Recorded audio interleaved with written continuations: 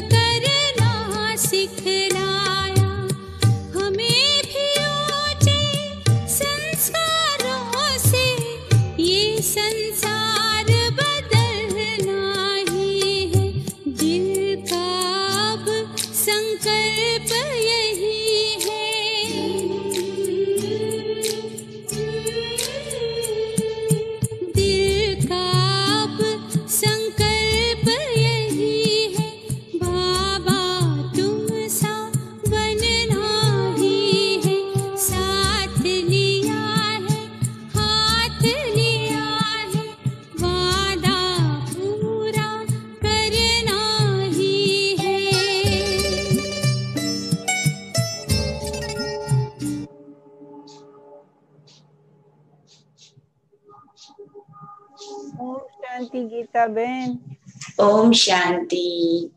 તમાર તમારું જ્યારે સ્પીકર ચાલુ થયું ને તમે ઇન્ડિયા પહોંચી ગયા. ટ્રેનનો અવાજ આવવા લાગ્યો.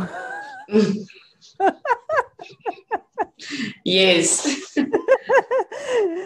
એટલે મેં કીધું આપણે ઇન્ડિયા પહોંચી ગયા. તો ગીતાબેનનું સાન ફ્રાન્સિસ્કો અને અનુભૂતિ પરિવાર તરફથી ખૂબ ખૂબ ખૂબ ખૂબ અમે બધા સ્વાગત કરીએ છીએ. ગીતાબેન વેલકમ વેલકમ વેલકમ અને જેમ કે રાજસ્થાનની પ્રથા છે કે જ્યારે કોઈ તમારી ત્યાં મહેમાન આવે ત્યારે એક લહેકા સાથે એનો એ એનો શું કહેવાય વેલકમ કરવામાં આવે છે. પધારો મારે દેશ રે. પધારો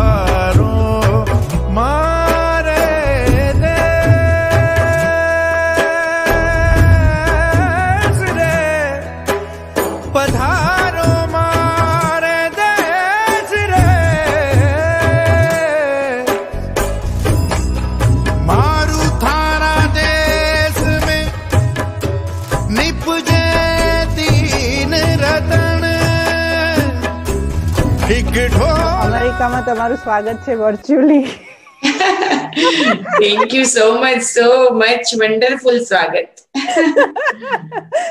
તો વિશેષ તો અમે ગયા વર્ષે જ્યારે આફ્રિકા ગયા હતા તો કાફી અમે લોકો ગીતાબેનની સાથે ફર્યા. એટલે કેવા જાય તો ખૂબ જ પ્રેમનો સંબંધ છે ગીતાબેન સાથે અને ગીતાબેન પણ અવારનવાર અમને પ્રોગ્રામમાં યાદ કરતા હોય છે. અને આજે આપણું ખૂબ જ ભાગ્ય છે કે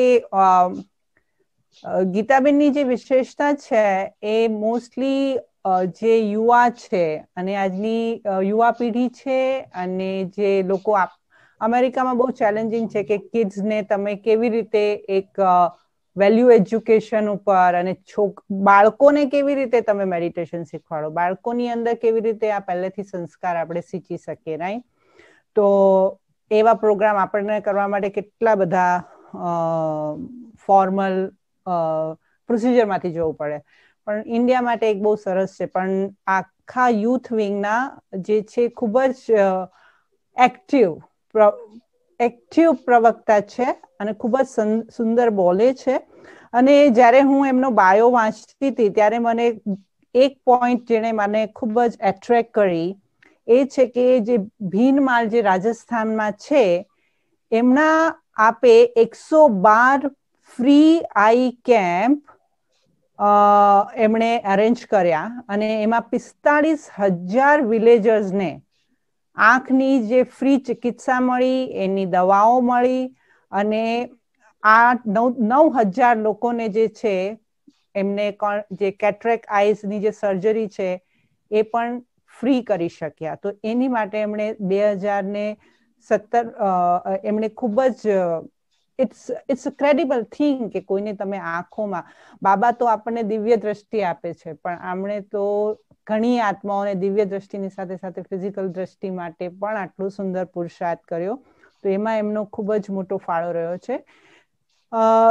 નાઇન્ટીન એટી સિક્સથી આપ જ્ઞાનમાં છો અને સમર્પિત રૂપથી રાજસ્થાનમાં અને ઇન્ટરનેશનલી સ્પીકર રહ્યા છે. ઇન્ટરનેશનલી પણ ઘણી જગ્યાએ ટ્રાવેલ કરીને એમણે પોતાનું જ્ઞાન આપ્યું છે. અને બીજી રિમાર્કેબલ વસ્તુ જે છે એમની માટે જે મને અટ્રેક્ટ કરી કે બે હજાર સત્તરની અંદર જે international yoga day newly celebrate કરવામાં આવેલો, ત્યારે એવન મહારાષ્ટ્ર વિધાનસભા અને ગવર્નર હાઉસની અંદર મેડિટેશનનો અનુભવ કરાવવા માટે એ ગયેલા. તો that is also very incredible એમના એમનો કાફી બાયો મોટો છે. મે બી હું એવું કરીશ કે તમને પોસ્ટ કરી દઈશ ને તો એમનો બાયો વાંચવામાં તો અડધો ટાઈમ જતો રહેશે મારો. ગીતાબેન નહીં આપણો પરિવાર છે એટલે કઈ બાયોની જરૂર નથી.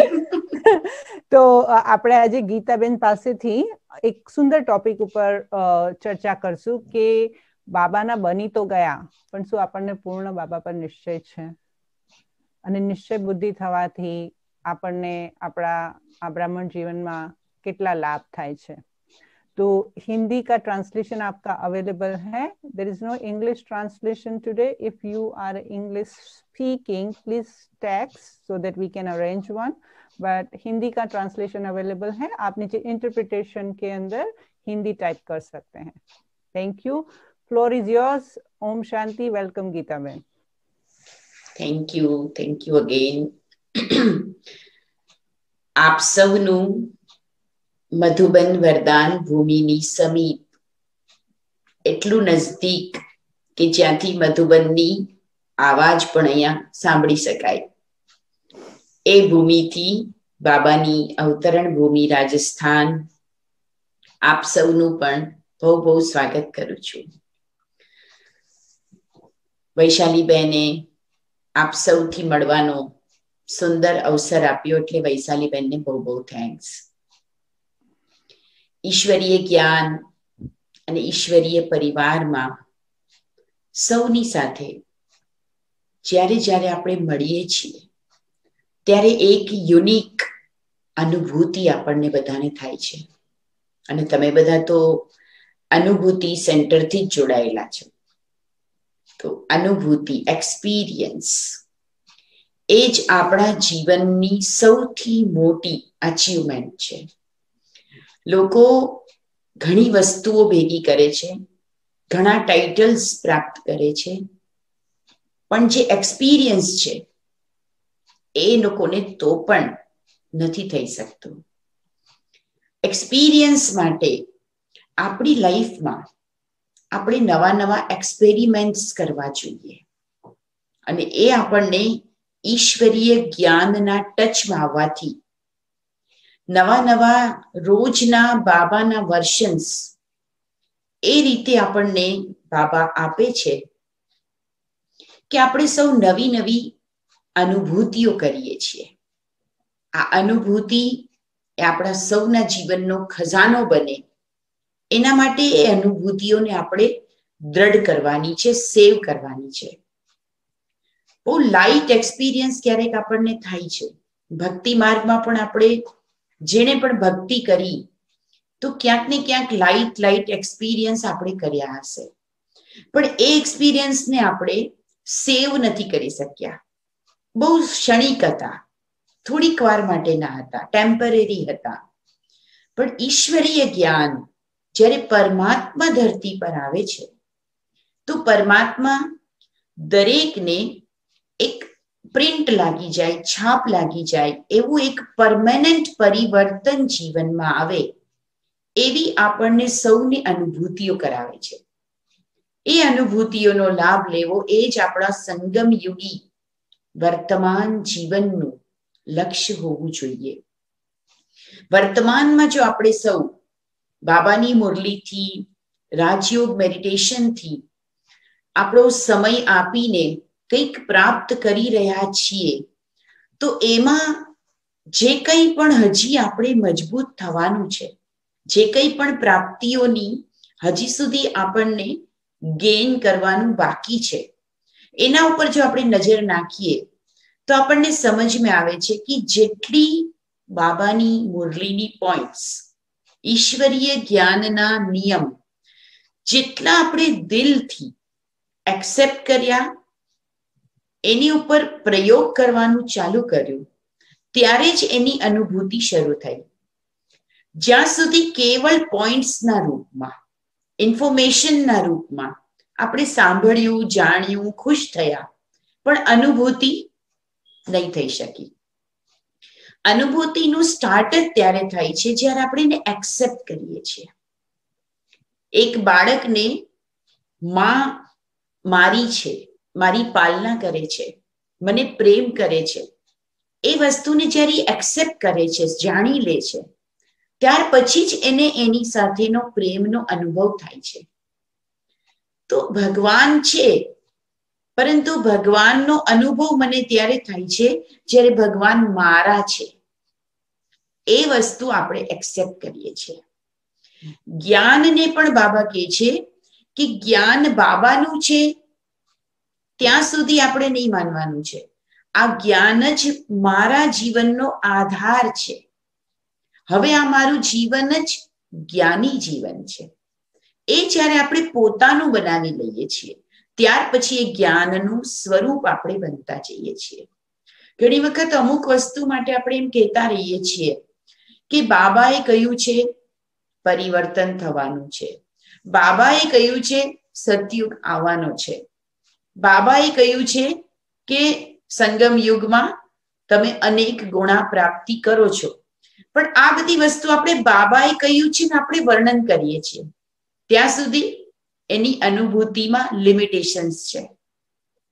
પણ જ્યારે આપણે પોતે એમ કહીએ છીએ કે મેં મારા જીવનમાં આ ધારણા કરી, મેં મારા જીવનમાં પવિત્રતાને અપનાવી, મેં મારા જીવનમાં ખાન પાનની શુદ્ધતાને અપનાવી, મને આ વસ્તુ હંમેશા એક્સેપ્ટ કરવાથી શું પ્રાપ્તિ થઈ. એ પ્રાપ્તિ અલગ છે. એક મને ઇન્ફોર્મેશન મળી છે અને એક મેં એને એક્સેપ્ટ કરીને જીવનમાં ધારણ કરી છે. તો એટલે બાબા આપણને નિરંતર એ જ ધારણા કરાવવાની વાતો કરે છે. ધારણા એ મુરલીની ધારણા છે, ધારણા ઈશ્વરીય નિયમોની ધારણા છે, ધારણા મન મનની એકાગ્રતાની ધારણા છે સિમ્પ્લિસિટીની ધારણા છે. કારણ કે આજ સુધીની આપણી જે જીવન હતી, એ જીવનમાં આપણે ગેન ઓછું કરતા હતા અને કન્ઝ્યુમ વધારે કરતા હતા. આપણી શક્તિઓમાં વૃદ્ધિ નથી થતી, પણ આપણી શક્તિઓ ખર્ચ થતી હતી. એ ટાઈપની આપણી જિંદગી હતી. હવે જે આપણને જિંદગી છે, જ્યારથી આત્માની ત્રીજી આંખ ખુલી છે, તો એક એક પલમાં, એક એક ક્ષણમાં પ્રાપ્તિઓની અનુભૂતિ થવી જોઈએ. હવે આપણને મહેનતની કે કઈ આપણી શક્તિઓને સ્ટ્રગલમાં, એડજસ્ટમેન્ટમાં, ટોલરેટ કરવામાં, સમાવવામાં, સહન કરવામાં જાય છે, એ અનુભૂતિ ન થવી જોઈએ. એના માટે બાબાએ આપણને કીધું છે, બચ્ચે, પરિસ્થિતિ, દુઃખ, ચિંતા તણાવ હિસાબ કિતાબ જે કંઈ પણ આપણે જીવનમાં આવે છે, એમાં તમારે વિજયી બનવાનું છે, વિનર બનવાનું છે. અને એ વિજયી બનવા માટે આપણી પાસે એક બહુ મોટી ધારણા બાબાએ શીખવી છે કે જેટલું તમારું નિશ્ચય, એટલું તમારો વિજય. આ નિશ્ચય એટલે મનની અંદર બાબાની વાત બાબાના બતાવેલા પ્રિન્સિપલ બાબાની બતાવેલી ધારણાને એક્સેપ્ટ કરીને સંપૂર્ણ રૂપે અપનાવવાની તૈયારી. એ કોઈ ને કે દેખતે હૈ. જોઈએ છીએ શું થાય છે. ઠીક લાગશે તો કરીશું. ત્યાં સુધીની સ્ટેજ છે.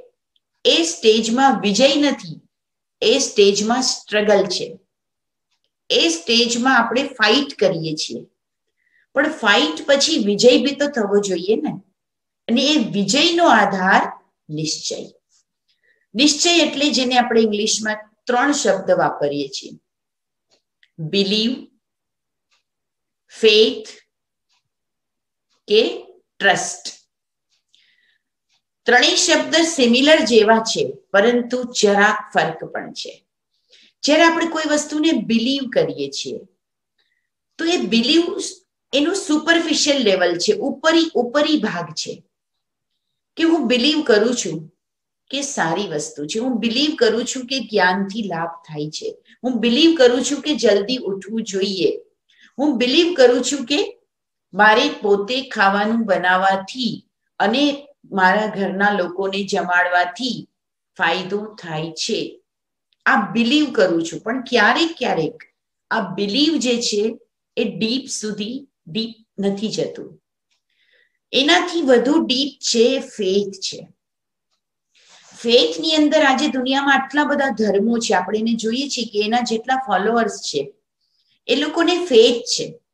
એટલે એ લોકો જાય છે, એના નિયમોને પાલન કરે છે, એના બધા ત્યોહાર અપનાવે છે, એના પર્વમાં એ લોકો ખર્ચ કરે છે. સમય આપે છે, પોતાનું ધન ખર્ચ કરે છે. ફેથ છે. પણ ફેથની પણ ક્યારેક ક્યારેક ઓપોઝિટ સાઈડ બ્લાઇન્ડ ફેથ પણ હોય છે. આપણે જોયું હશે કે ફેથ ક્યારે ક્યારે બ્લાઇન્ડ ફેથમાં બદલી જાય છે. અને ત્યારે માણસની જે બ્રેઇન એક્ટિવિટી છે એ જડ થઈ જાય છે. એ વિચારવાનું બંધ થઈ જાય છે. પણ બાબાએ જે આપણને નિશ્ચયની સાથે સાથે વિવેકને બંધ કરવાની વાત નથી કરી. આપણી બુદ્ધિને એક્ટિવ રાખીને આપણે નિશ્ચય કરીએ છીએ. તો એને કહેવાય છે ટ્રસ્ટ જેને આપણે કહીએ છીએ શ્રદ્ધા. શ્રદ્ધા વગર જ્ઞાન નહીં અને વિવેક વગર જ્ઞાનનું પ્રેક્ટિકલ સ્વરૂપ નહીં. માત્ર શ્રદ્ધા નહીં, પરંતુ શ્રદ્ધા વિવેક યુક્ત શ્રદ્ધા, જેમાં આપણી બુદ્ધિ એક્સેપ્ટ કરે છે, એ વિવેકને ધારણ કરવાથી નાની મોટી આવતી પ્રોબ્લેમ્સમાં આપણે મૂંઝાતા નથી. તો આપણી નિશ્ચયની સ્થિતિ ટ્રસ્ટની સ્થિતિ, એ આપણને દરેક પરિસ્થિતિમાંથી પાર કરે છે. અને એ આપણે બાબાના, મમ્માના જે પ્રેક્ટિકલ લાઈફ સ્ટોરીમાં જોયું છે, કે જેવું બાબાનું જ્ઞાન મળ્યું, એને મનથી એક્સેપ્ટ કર્યું અને એ ધારણામાં ચાલવાનું જ્યારે શરૂ કર્યું, દરેકને પેપર તો આવવાના જ છે. પરીક્ષા વગર તો આગળ વધવાના જ નથી અને પરીક્ષા પેપર પણ ક્યાંથી આવવાના છે? જે સ્કૂલમાં ભણીશું, એ જ સ્કૂલમાંથી આપણા એક્ઝામ પણ પેપર પણ નીકળવાના છે. જેના, જે લોકોની સાથે રહીશું, જ્ઞાની કે અજ્ઞાની, એ જ લોકો દ્વારા આપણી પાસે પેપર આવવાના જ છે. પણ ત્યારે આપણી શ્રદ્ધા, આપણો નિશ્ચય કઈ રીતે મજબૂત રહે, એ સૌથી મજબૂત કે વિશેષ વાત છે. બાબાએ આપણને અનેક વસ્તુનો નિશ્ચય કરવાની વાત કરી છે. ભક્તો પણ પોતપોતાના ઈષ્ટ દેવમાં નિશ્ચય રાખે છે. આપણે આપણા ગુજરાતના નરસિંહ મહેતાની વાત સાંભળી છે કે એણે પોતાના શ્રી કૃષ્ણ પ્રત્યે જે ભાવના હતી, તો લોકોને એક બ્લેન્ક ચેક આપી દીધો કે તમે દ્વારકા જાઓ છો, તો ત્યાં તમને સામળીઓ મળશે સામળીઓ શેઠ મળશે. અને તમે આ બ્લેન્ક ચેકને ત્યાં કેશ કરાવી લેજો. તમારે જેટલું જોઈએ એટલું લઈ લેજો. વિચાર કરો કે ભક્તિ માર્ગમાં પણ જે નિશ્ચય હતો કે મારા ઈષ્ટ, મારા દેવ, મારી શ્રદ્ધાનું જે કેન્દ્ર છે, એ મારી ભાવનાને સમજે છે. એ મારી જરૂરતને સમજે છે.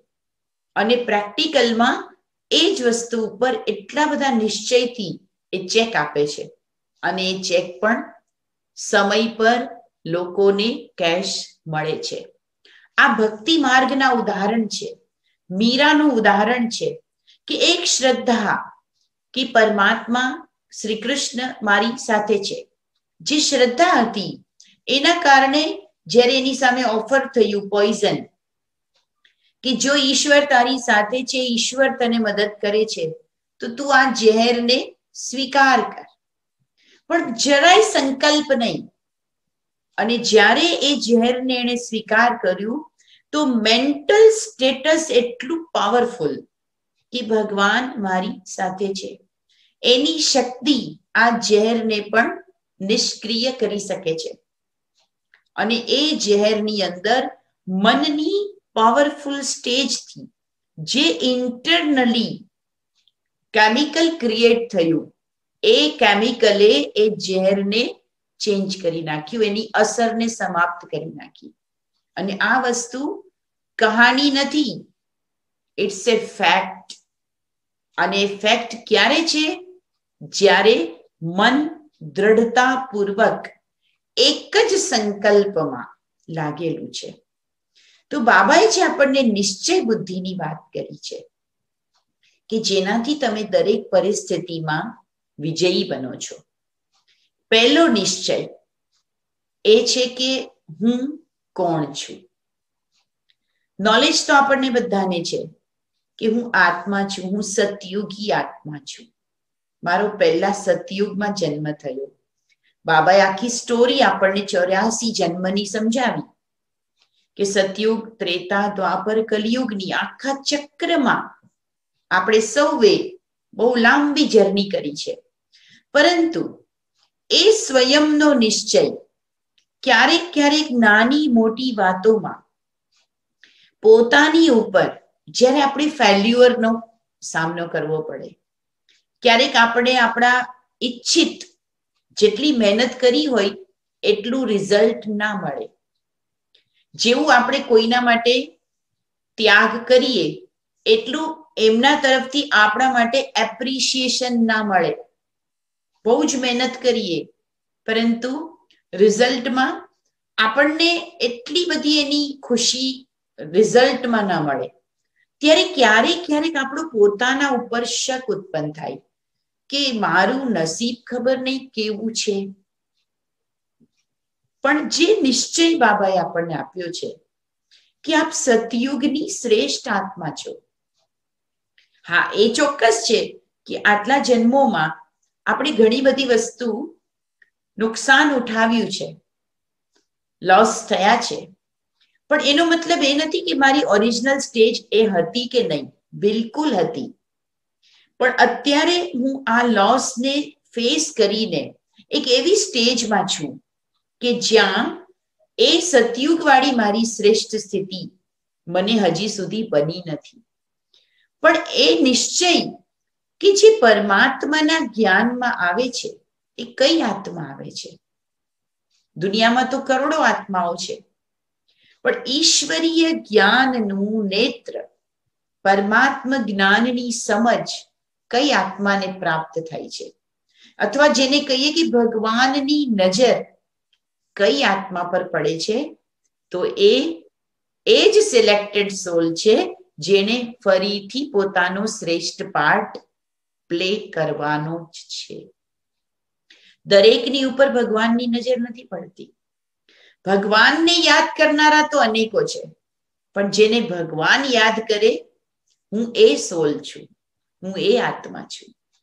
જ્યારે આપણે એ નિશ્ચયમાં દ્રઢ રહીએ છીએ, તો ઇન્ટરનલી એક અલગ જ જે પ્રોસેસ છે એ સ્ટાર્ટ થાય છે. આ જે જ્ઞાન માર્ગ છે? એ આખું જ પ્રેક્ટિકલ સાયન્ટિફિક આપણને મળેલી પ્રોસેસ છે. મનની દ્રઢતા ઇન્ટરનલ ચેન્જીસ લાવે છે. અને ઇન્ટરનલ જે આપણી અંદરના પરિવર્તનો થાય છે, એ આપણા કર્મોની ઉપર, આપણા પ્રેક્ટિકલ વ્યવહારની ઉપર એની અસર દેખાય છે. જેને કહી શકીએ છીએ કે જેવું મન દ્રઢ થાય છે એવું જ બુદ્ધિ એને ફોલો કરે છે, કર્મ એને ફોલો કરે છે અને આપણું ડેસ્ટિની પણ, આપણું ભાગ્ય પણ એને ફોલો કરવા લાગે છે. પરંતુ જો મનમાં થોડીક પણ હલચલ આવે છે કે હું ખબરની કઈ આત્મા છું? બાબાએ જ્ઞાન તો આપ્યું, પણ હું સતયુગમાં શ્રેષ્ઠ પદ પ્રાપ્ત કરનારી છું. હું શ્રેષ્ઠ યોગી બની શકીશ. જરાક પણ મનમાં એ વસ્તુ આવે છે, તો સ્થિતિમાં ફરક પડે છે.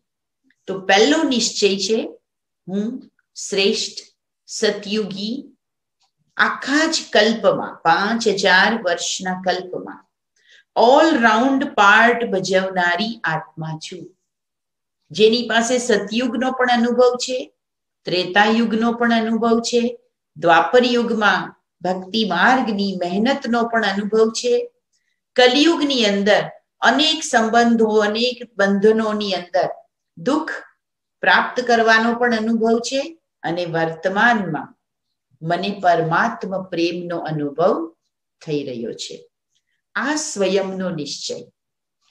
બીજો નિશ્ચય બાબાએ આપણને કહ્યું છે, પરમાત્માનું જ્ઞાન પ્રાપ્ત થયું, જેમાં ખબર પડી દેવોના દેવ ઈશ્વર એક જ શિવ બાબા છે.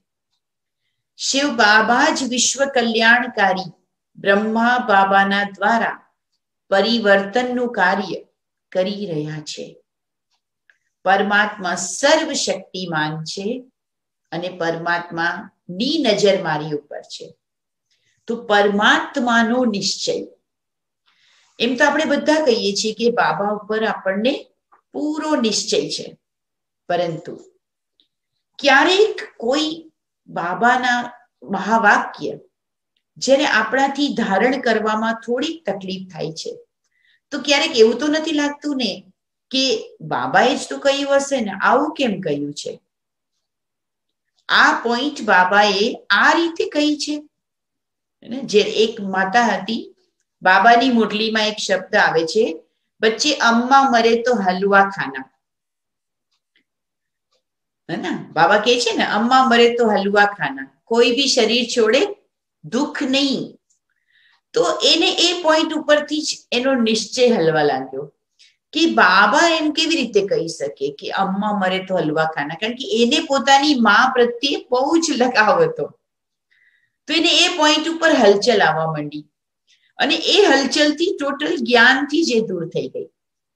તો પરમાત્માએ જે કઈ વાત કહી છે એમાં નિશ્ચય. પરમાત્મામાં નિશ્ચય એટલે પરમાત્માની કહેલી વાતમાં નિશ્ચય. કારણ કે આપણે સૌ જાણીએ છીએ કે સંસારના દરેક સંબંધો દૂર થવાના છે, દરેક પરિસ્થિતિ બદલવાની છે. તો બાબા આપણને પહેલાથી દરેક પરિસ્થિતિ માટેની ટ્રેનિંગ આપે છે. એટલે બાબાના દરેક મહાવાક્યની પાછળનું જે રહસ્ય છે, જે સિક્રેટ છે, એને આપણે સમજી શકીએ, ત્યારે કહીશું કે બાબામાં આપણો નિશ્ચય છે. બાબા ભગવાન છે, બાબા સર્વોત્તમ છે, એ વસ્તુ તો આપણે સ્વીકાર કરી. પણ એના દ્વારા કહેલી, દરેક વાતમાં જે સિક્રેટ છુપાયેલું છે, જે રાજ છુપાયેલું છે, જે રહસ્ય છે, એને પણ આપણે એટલી જ મહત્વ આપી શકીએ ઇમ્પોર્ટન્સ આપી શકીએ, ત્યારે બાબાના નિશ્ચય બુદ્ધિ બ્રહ્મા બાબા જે ફર્સ્ટ નંબરની સોલ. એમની સામે પણ અનેક પ્રકારના નિશ્ચયની પરીક્ષાઓ આવી. જે સ્થાપનાના નિમિત્ત બનેલી પ્રથમ નંબરની આત્મા અને એમનો પૂરો પરિવાર તન, મન, ધન સહિત સમર્પિત થયો. સમર્પિત થયાને બાદ મેં બાબાની સામે કેટલા બધા પેપરો આવ્યા. અનેક પ્રકારની પરીક્ષાઓ આવી. પણ બાબાએ દરેક પરીક્ષામાં કેવળ નિશ્ચયના આધારે પોતાને સફળ પણ બનાવ્યા અને યજ્ઞને, બાબાના કાર્યને પણ એટલું જ સફળ બનાવ્યું. સૌથી પહેલા બાબાએ સમર્પિત કર્યું તો બાબાની ઉપર જ અનેક પ્રકારના ઇલ્જામ, અનેક પ્રકારના લાંછન લાગ્યા કે બાબા કઈ રીતે જીવનને બનાવી રહ્યા છે, સૌને કઈ રીતે ચેન્જ કરી રહ્યા છે? લેડીઝ કેમ વધારે છે? અહીંયા આટલી બધી બહેનો જ કેમ સમર્પિત થાય છે? ઘર કેમ છોડીને લોકો જાય છે? આવા બધા અનેક પ્રશ્નો બાબાની સામે આવ્યા. પણ બાબાએ જ્યારે નિશ્ચયમાં રહ્યા કે દરેકને પોતાનું સત્ય એક દિવસ સમજમાં આવશે. બાબા ત્યાં સુધી કહેતા કે જે પેપર જે નિંદા કરનારા છે, જ્યાં તમારી નેગેટિવ પબ્લિસિટી કે નેગેટિવ રૂમર્સ છે, એ પણ એક દિવસ તમારા માટે પોઝિટિવ બોલશે. તમે તમારા સ્વરૂપમાં સત્ય રહો. તો કારણ કે બાબા કરાવી રહ્યા છે, બાબા કહી રહ્યા છે. યજ્ઞમાં એવો પણ સમય આવ્યો હતો કે જ્યારે ત્રણસો લોકો ખાવા વાળા હતા, પરંતુ યજ્ઞમાં કંઈ જ નહોતું. ત્યારે પણ બાબાએ દરેકને કીધું કે આ કાર્ય મારું નથી બાબા કરાવનાર છે. ને બાબાને પોતાના દરેક બાળકો માટેની ચિંતા છે. યજ્ઞમાં ભોજન બનાવનારી બેન દસ વાગે બાબાને આવીને પૂછે છે કે, બાબા, યજ્ઞમાં આજે શું બનશે? ભોજન માટે કંઈ જ નથી, પૈસા પણ નથી. અગિયાર વાગે આવીને પૂછે છે, બાબા કે છે, બની જશે? બાબાનું કાર્ય છે, બાબા બેઠા છે. સાડા અગિયાર વાગી ગયા. બાબા, શું થશે? બચ્ચી, હો જાયેગા. અને બાર વાગ્યે આપણે સૌ જાણીએ છીએ કે બાબાની પાસે મની ઓર્ડર આવે છે. અને બાબાના બધા જ બાળકોનું બાર વાગ્યાને બદલે એક વાગ્યે જમવાનું રેડી થઈને બધાને મળી જાય છે. પણ એ સમયની જે બાબાની સ્થિતિ છે, એમાં એવું હલચલ આવી શકત નહીં કે જે કરોડો રૂપિયા સમર્પિત કર્યા અને આ યજ્ઞની મેં સ્થાપના કરી અને મને આજે આ દિવસ જોવાનો આવ્યો કે જ્યારે મારે આટલા લોકોની જવાબદારી પૂરી કરવાની છે અને મારી પાસે પૈસા નથી. પરંતુ બાબાની સ્થિતિ એટલી બધી અચલ કે જેનાથી પરિસ્થિતિ પણ બદલી ગઈ છે. તો પરમાત્મા જે કંઈ પણ કરાવી રહ્યા છે, એમાં નિશ્ચય. આજે કોવિડ નાઇન્ટીનમાં આપણને ક્યારેય અંદાજ નહોતી એવી કેટલી બધી પરિસ્થિતિઓ આપણે ફેસ કરી રહ્યા છીએ. તમે લોકો વિશેષ કરી રહ્યા છો. અહીંયા ઇન્ડિયામાં તો તોય ઘણું બધું હવે નોર્મલ છે. પણ મને એમ છે તમારે ત્યાં હજી પણ અનેક પ્રકારથી લોકઅપ લોકડાઉન છે. તો આ પરિસ્થિતિઓની અંદર પણ કોઈએ બાબાને પૂછ્યું કે, બાબા, તમે ભગવાન છો તમારા સેન્ટરો પણ તમારા બધા કોવિડ નાઇન્ટીનથી બંધ થઈ ગયા? તો બાબાએ શું કહ્યું? સેન્ટર એક હતું, એક જગ્યાએ યોગ હતો. હવે દરેકનું ઘર જ સેન્ટર બની ગયું. અને દરેકના ઘરમાં જ એ વાતાવરણ બની ગયું કે જ્યાં જુઓ ત્યાં બધે જ જ્ઞાન યોગની જ્યોત. તો દેખો, પરિસ્થિતિ બદલવાની છે. પણ એ પરિસ્થિતિમાં પણ બાબાએ આપણને નિશ્ચય બુદ્ધિ બનાવ્યા છે. સંશયનો કોઈ સ્થાન નથી. ત્રીજો નિશ્ચય છે, બાબાના બતાવેલા દરેકે દરેક જે બ્રાહ્મણ પરિવારનું જે કલ્ચર છે બ્રાહ્મણ જીવનનું જે કલ્ચર છે, એમાં નિશ્ચય. બ્રાહ્મણ જીવન એટલે તપસ્વી જીવન, ત્યાગી જીવન, યોગી જીવન, સાત્વિક જીવન. તો આપણી દિનચર્યા, આપણા ભોજનની આદતો, એ સૌ ધીરે ધીરે આપણે ચેન્જ કરી છે. હવે આ દિનચર્યાને, આ નવી આદતોને પણ આપણે એટલા જ હંડ્રેડ પર્સન્ટ ટ્રસ્ટથી અપનાવી છે? કારણ કે જ્યારે આપણે ભોજન કે દિનચર્યાના નિયમોને એક્સેપ્ટ કરીએ છીએ, ત્યારે જ એનો ફાયદો મળે છે. જસ્ટ ટ્રાયલ કરીએ છીએ, ત્યાં સુધી એનો લાભ, એનો પ્રેક્ટિકલમાં બેનિફિટ્સ આપણને મળતા નથી. તો જ્યારે આપણે હંડ્રેડ પર્સન્ટ નહીં હોમ મેડ એટલે હોમ મેડ અમૃત વેલા એટલે અમૃત વેલા, અને ડેલી અને એ જ્યારે આપણે કરીએ છીએ, કારણ કે જો બાબા આપણને કહે છે અને મનોવિજ્ઞાન પણ એમ કે છે કે કોઈ પણ વસ્તુને, કોઈ પણ નિયમને તમે ટ્વેન્ટી વન ડેઝ સુધી કન્ટિન્યુઅસ કરો રેગ્યુલર કરો. એના પછી તમને એના બેનિફિટ્સ પ્રાપ્ત થાય.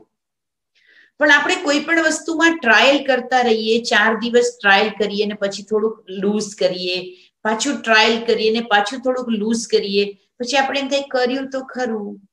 પણ કંઈ કરવામાં એટલી આનંદ ના આવ્યો, કઈ મજા ના આવી, કઈ ચેન્જ ના મળ્યું, કઈ ખુશી ન મળી. પણ આપણે કેટલું ટ્રાયલ કર્યું? બહુ જ લાઈટ તો કમસે કમ ટ્વેન્ટી વન ડેઝ તમે કન્ટિન્યુઅસ રેગ્યુલર પંક્ચ્યુઅલ અમૃત વેલા કરીને જુઓ. કે રેગ્યુલર મોરલી ક્લાસ કરીને જુઓ. સાત્વિક હોમમેડ હેન્ડમેડ ફૂડ કમ્પલસરી કરીને જુઓ. ત્યાર પછી જ તમને એના બેનિફિટ્સ કે તમારા મન ઉપર શું અસર આવી, તમારી બુદ્ધિ ઉપર શું અસર આવી, તમારી હેલ્થ પર શું અસર આવી, એ ભોજન તમે તમારા ચિલ્ડ્રનને ખવડાવ્યું તો એ બાળકો ઉપર શું અસર આવી, એ પછી તમને ચેન્જીસ મળે. પણ ત્યાં સુધી વિથ વેરી વામ ટ્રસ્ટ તમારે એ કરવું જ પડે. એક ખેતરમાં ખેડૂત પહેલા વિચાર કરે કે હું આ ખેતર ખેડવાની મહેનત તો કરું, એની અંદર બીજ નાખવાની મહેનત તો કરું, પણ પછી ઉગે નહીં તો જો એવો વિચારે પહેલાથી કરે તો એ ક્યારે કામ જ ના કરી શકે.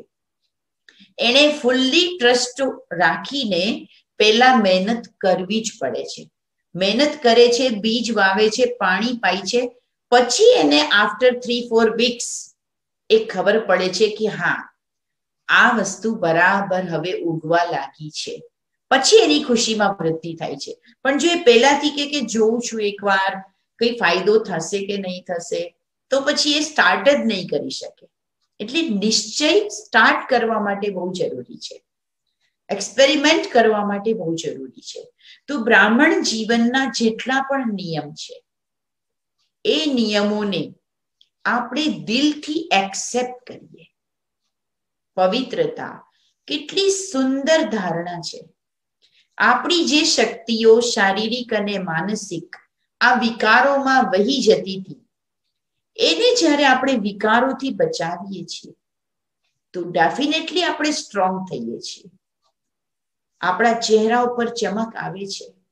પણ તમે કન્ટિન્યુઅસ એ પવિત્રતાને સ્વીકાર કરી ત્યારે પરિવર્તન આવ્યું ને એ જ રીતે આપણે દરેકની સાથે જ્યારે મળીએ છીએ, આત્મિક દ્રષ્ટિ, બાબાએ કહ્યું છે કે બ્રાહ્મણ જીવનમાં આત્મિક દ્રષ્ટિનો અભ્યાસ કરો. તો નિશ્ચય બુદ્ધિ બનીને દરેકના આત્મિક સ્વરૂપથી દરેકની સાથે ડીલ કરો. કેટલું બધું ચેન્જ તમને જોવા મળશે કે જે મારી ડોટર ઇન લો ને હું એક ડોટર ઇન લોના રૂપમાં જોતી હતી, તો મને એની અંદર અધિકારની ભાવના હતી. કમસે કમ એણે આટલું કરવું જોઈએ, કમસે કમ એણે આ કરવું જોઈએ.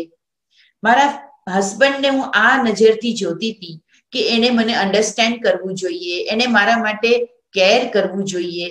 પણ હવે હું કઈ નજરથી જોઉં છું? એ પણ એક શુદ્ધ આત્મા પોતાનો પાર્ટ પ્લે કરી રહી છે અને હું મારો પાર્ટ પ્લે કરી રહી છું. કદાચ એના પાર્ટ પ્લે કરવામાં કોઈ કમી હશે તો એનું એને ફળ મળશે ને મારો પાર્ટ પ્લે કરવામાં કમી રહેશે તો મને ફળ મળશે. પણ મને એમનાથી હવે કોઈ એક્સપેક્ટેશન નથી. કારણ કે હું એની આત્મિક દ્રષ્ટિથી, આત્મિક સંબંધથી જોવા લાગી.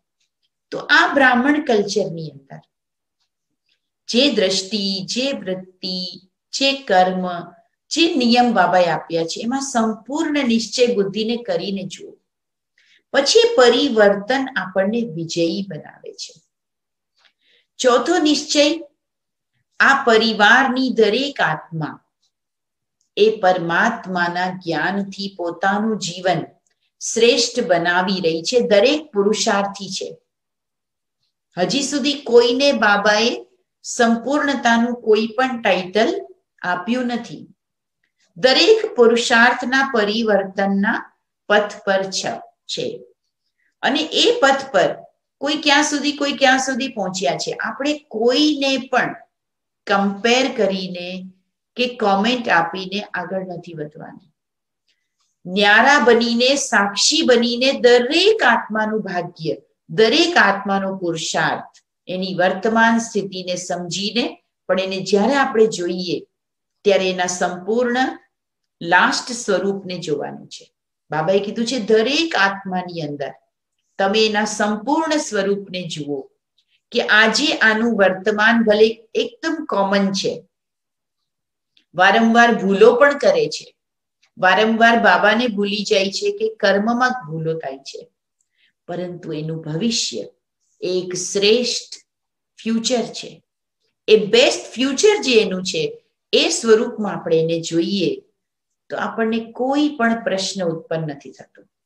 મિત્ર, ઘણી વખત એવું થાય છે કે બાબામાં પણ નિશ્ચય હોય, બાબાના જ્ઞાનની ધારણાઓમાં પણ નિશ્ચય હોય, પણ બાબાના પરિવારમાં જો કોઈ આત્મા થોડી ઘણી વીકનેસ એની અંદર જોવા મળે, ત્યારે આપણા નિશ્ચયની મોટી પરીક્ષા થાય છે. કોઈ અજ્ઞાનીના દ્વારા આપણને કદાચ કોઈ વાત સાંભળવી પડે, કદાચ કોઈ વાતનું પરીક્ષા આવે તો આપણે એને લેટ ગો કરી દઈએ છીએ. પણ જ્યારે કોઈ જ્ઞાની આત્મા એના તરફથી આપણને કોઈ પ્રોબ્લેમ આવી, કોઈ કોમેન્ટ આવી કે કોઈ વિઘ્ન આવ્યું તો આપણા મનમાં સ્થિરતા નથી રહેતી. એ તો જ્ઞાની છે ને, એમણે તો આવું નહીં કરવું જોઈએ ને. એ તો સમજદાર છે ને, એ તો બાબાના બચ્ચા છે ને. એમણે તો આવું નહીં કરવું જોઈએ. એ જે નિશ્ચયમાં હલચલ આવે છે. એક વખત ગુલજાર દાદીએ બહુ સરસ આ વાત સમજાવી કે જ્યારે જ્યારે તમને એમ થાય છે કે એક જ્ઞાની અને એનું વર્તાવ આવો કેમ? એનું બિહેવિયર આવું કેમ? ત્યારે તમે એક વસ્તુને પાકી કરો કે જે ટાઈમે કોઈ પણ વ્યક્તિ ગુસ્સો કરે છે, કોઈ પણ વ્યક્તિ કોઈ વ્યર્થ વાત કરે છે. એ ટાઈમ પૂરતો એ જ્ઞાની નથી. કારણ કે એ ટાઈમે એનામાં જે રાવણના સંસ્કાર છે, તો એ ટાઈમે એ પરમાત્માનો બાળક નહીં, પણ એ ટાઈમ પૂરતો એ માયાને વશ રાવણના પરિવારની આત્મા બની ગઈ. તો એ વર્તમાનને પણ સ્વીકાર કરો કે એમ ભલે એને જ્ઞાન મળેલું છે, પણ આજના સમયે at that time at present time એ માયાવી સંસ્કારોને વશ છે. અને એટલા માટે એની એ જ સ્થિતિ રહેવાની, એના એવા જ શબ્દો નીકળવાના, એનાથી એ જ બિહેવિયર થવાનું. એને પણ આપણે એક્સેપ્ટ કરી શકીએ. નિશ્ચયનો મતલબ આ છે કે દરેકની વર્તમાન સ્થિતિને પણ એક્સેપ્ટ કરીએ, દરેકના ગ્રેટ ફ્યુચરને પણ સામે રાખીએ, અને દરેકની કહાણી કેટલા જન્મોની, કેટલા પ્રકારની થઈ હશે. કહેવાય છે કે એક વખત એક વ્યક્તિ રોડ પર ડ્રાઈવ કરીને આગળ વધતો હતો તો એની સામે જ એક ગાડી બહુ જ ધીમે ધીમે ધીમે ચાલતી હતી. ઘડીકમાં આ બાજુ, ઘડીકમાં આ બાજુ એ ગાડીનો કોઈ ફ્લો નહોતો. બહુ જ રફ ડ્રાઇવિંગ અને બહુ જ કંટાળી ગયો. એ વારંવાર હોર્ન મારે, વારંવાર હોર્ન મારે. એ ગાડી આગળ પણ ન જાય, એને સાઈડ પણ ન આપે અને બિલકુલ રફ ડ્રાઈવ કરે. એ બહુ જ કંટાળીને છેલ્લે એને વિચાર કર્યો કે હવે હું નીચે ઉતરીને એની સાથે વાત કરું. તો એટલામાં ટ્રાફિક સિગ્નલ આવી ગયું તો એક જેવી ગાડી સ્ટોપ થઈ એ તરત જ પોતાની ગાડીને બંધ કરીને આગળ નીકળીને કે હું એની જોડે વાત કરું કે શું પ્રોબ્લેમ છે? કેમ મને આટલી હેરાન કરે છે? પણ જેવો એ નજીક ગયો ત્યારે ગાડીની ઉપર એક લેબલ લાગેલું હતું. Physically disabled. હવે એક જ લેબલ જ્યારે જોયું, તો તરત જ એના મનમાં આવ્યું કે નહીં નહીં નહીં નહીં. એક ડિસેબલ વ્યક્તિ ગાડી ડ્રાઈવ કરે છે. અને એના માટે મારા મનમાં તરત જ બધી જ વસ્તુનો ગુસ્સો શાંત થઈ ગયો. અને એની સાથે જે લડવાના મૂડમાં હતો, એના બદલે એને તરત જ એક્સક્યુઝ બી કર્યું, એને એપ્રિશિએટ કર્યું, એની સાથે હલો કર્યું. એકદમ મન ચેન્જ થઈ ગયું. સિર્ફ એક ટાઇટલ એક ટાઇટલ વાંચતા જ આટલું ચેન્જ આવી ગયું આપણે જે આસપાસના લોકોને જોઈએ છીએ આપણને એમ થાય છે કે આ વ્યક્તિ આટલો સમજદાર આટલો વેલ ક્વોલિફાઈડ આટલો જ્ઞાનમાં સિનિયર અને એ ભાવથી તરત જ આપણા મનમાં એમ થાય છે કે આવું એને ન બોલવું જોઈએ પણ અહીંયા એને પણ એક ટાઇટલ લાગેલું છે જે આપણને દેખાતું નથી કોઈ ડિપ્રેસ્ડ છે કોઈ પોતાની પરિસ્થિતિઓમાં ખૂબ જ ઉલઝાયેલો છે, ગૂંચવાયેલો છે. જન્મ જન્મથી કોઈ એવી વીકનેસ એની અંદર છે. ભગવાને એની ઉપર નજર નાખી અને જ્ઞાન પ્રાપ્ત કરી રહ્યો છે. પણ હજી સુધી એની જન્મ જન્મની પેલી વીકનેસ છે, એ ગઈ નથી. મારો એની સાથેનો કોઈ એવો હિસાબ કિતાબ છે? એ આપણે જાણતા નથી. કે દરેકની પાસ્ટની મારી સાથેની ક્રિયા કઈ રહી છે? કેવો હિસાબ કિતાબ આપણો રહ્યો છે? કોઈ વગર કારણથી મારા પડોશમાં આવીને રહે અને મને રોજ હેરાન કરે. આપણના મનમાં પ્રશ્ન થાય કે આને આપણે ક્યાં સુધી ટોલરેટ કરવાનું? પરંતુ આપણે આપણા પાસ્ટ લાઈફને એના પાસ્ટ લાઈફને નથી જાણતા. કોઈ ના કોઈ એવું લેબલ ત્યાં પણ છે કે ક્યાંક ને ક્યાંક આપણો એ જ ટાઈપનું આપણા દ્વારા એની સાથે થયેલું હિસાબ કિતાબ છે. તો આજે એ આપણા દ્વારા, એના દ્વારા આપણી પર આવે છે. પણ આ જે પરિવારની અંદર જરા કમસતી વાત થાય, તો આપણે ડિસ્ટર્બ થઈ જઈએ છીએ. પણ ત્યાં જ આપણે વિજયી થવાનું છે કે કોઈ પણ આત્મા, કોઈ પણ પ્રકારનો વ્યવહાર કરે, કોઈ પણ પ્રકારની એના કર્મ રે એની માન્યતા રે એના શબ્દો હોય, એને આપણે એક્સેપ્ટ કરીએ. કારણ કે એવું જ એનું જન્મ જન્મનું સોફ્ટવેર છે, એની અંદર એ જ ફીડિંગ છે, અને એવું એ કરશે ત્યારે જ મારા જીવનમાં ચેન્જ આવશે. તો એ પણ આપણે એને સ્વીકાર કરીએ. તો નિશ્ચયથી વિજય આ રીતે આપણો થાય કે આપણે દરેક વસ્તુને ત્રણેય કાળમાં જોઈએ છીએ. Not only in present past present and future ત્રણેય કાળમાં જ્યારે આપણે કોઈ વસ્તુને જોઈએ, ત્યારે એને એક્સેપ્ટ કરવું ખૂબ જ સરળ થઈ જાય છે. પણ જ્યાં સુધી એક જ કાળમાં જોઈએ છીએ, તો આપણે નિશ્ચય નથી રાખી શકતા. એ જ રીતે બાબાએ કહ્યું છે ડ્રામા સૌથી મોટો નિશ્ચય છે ડ્રામામાં નિશ્ચય.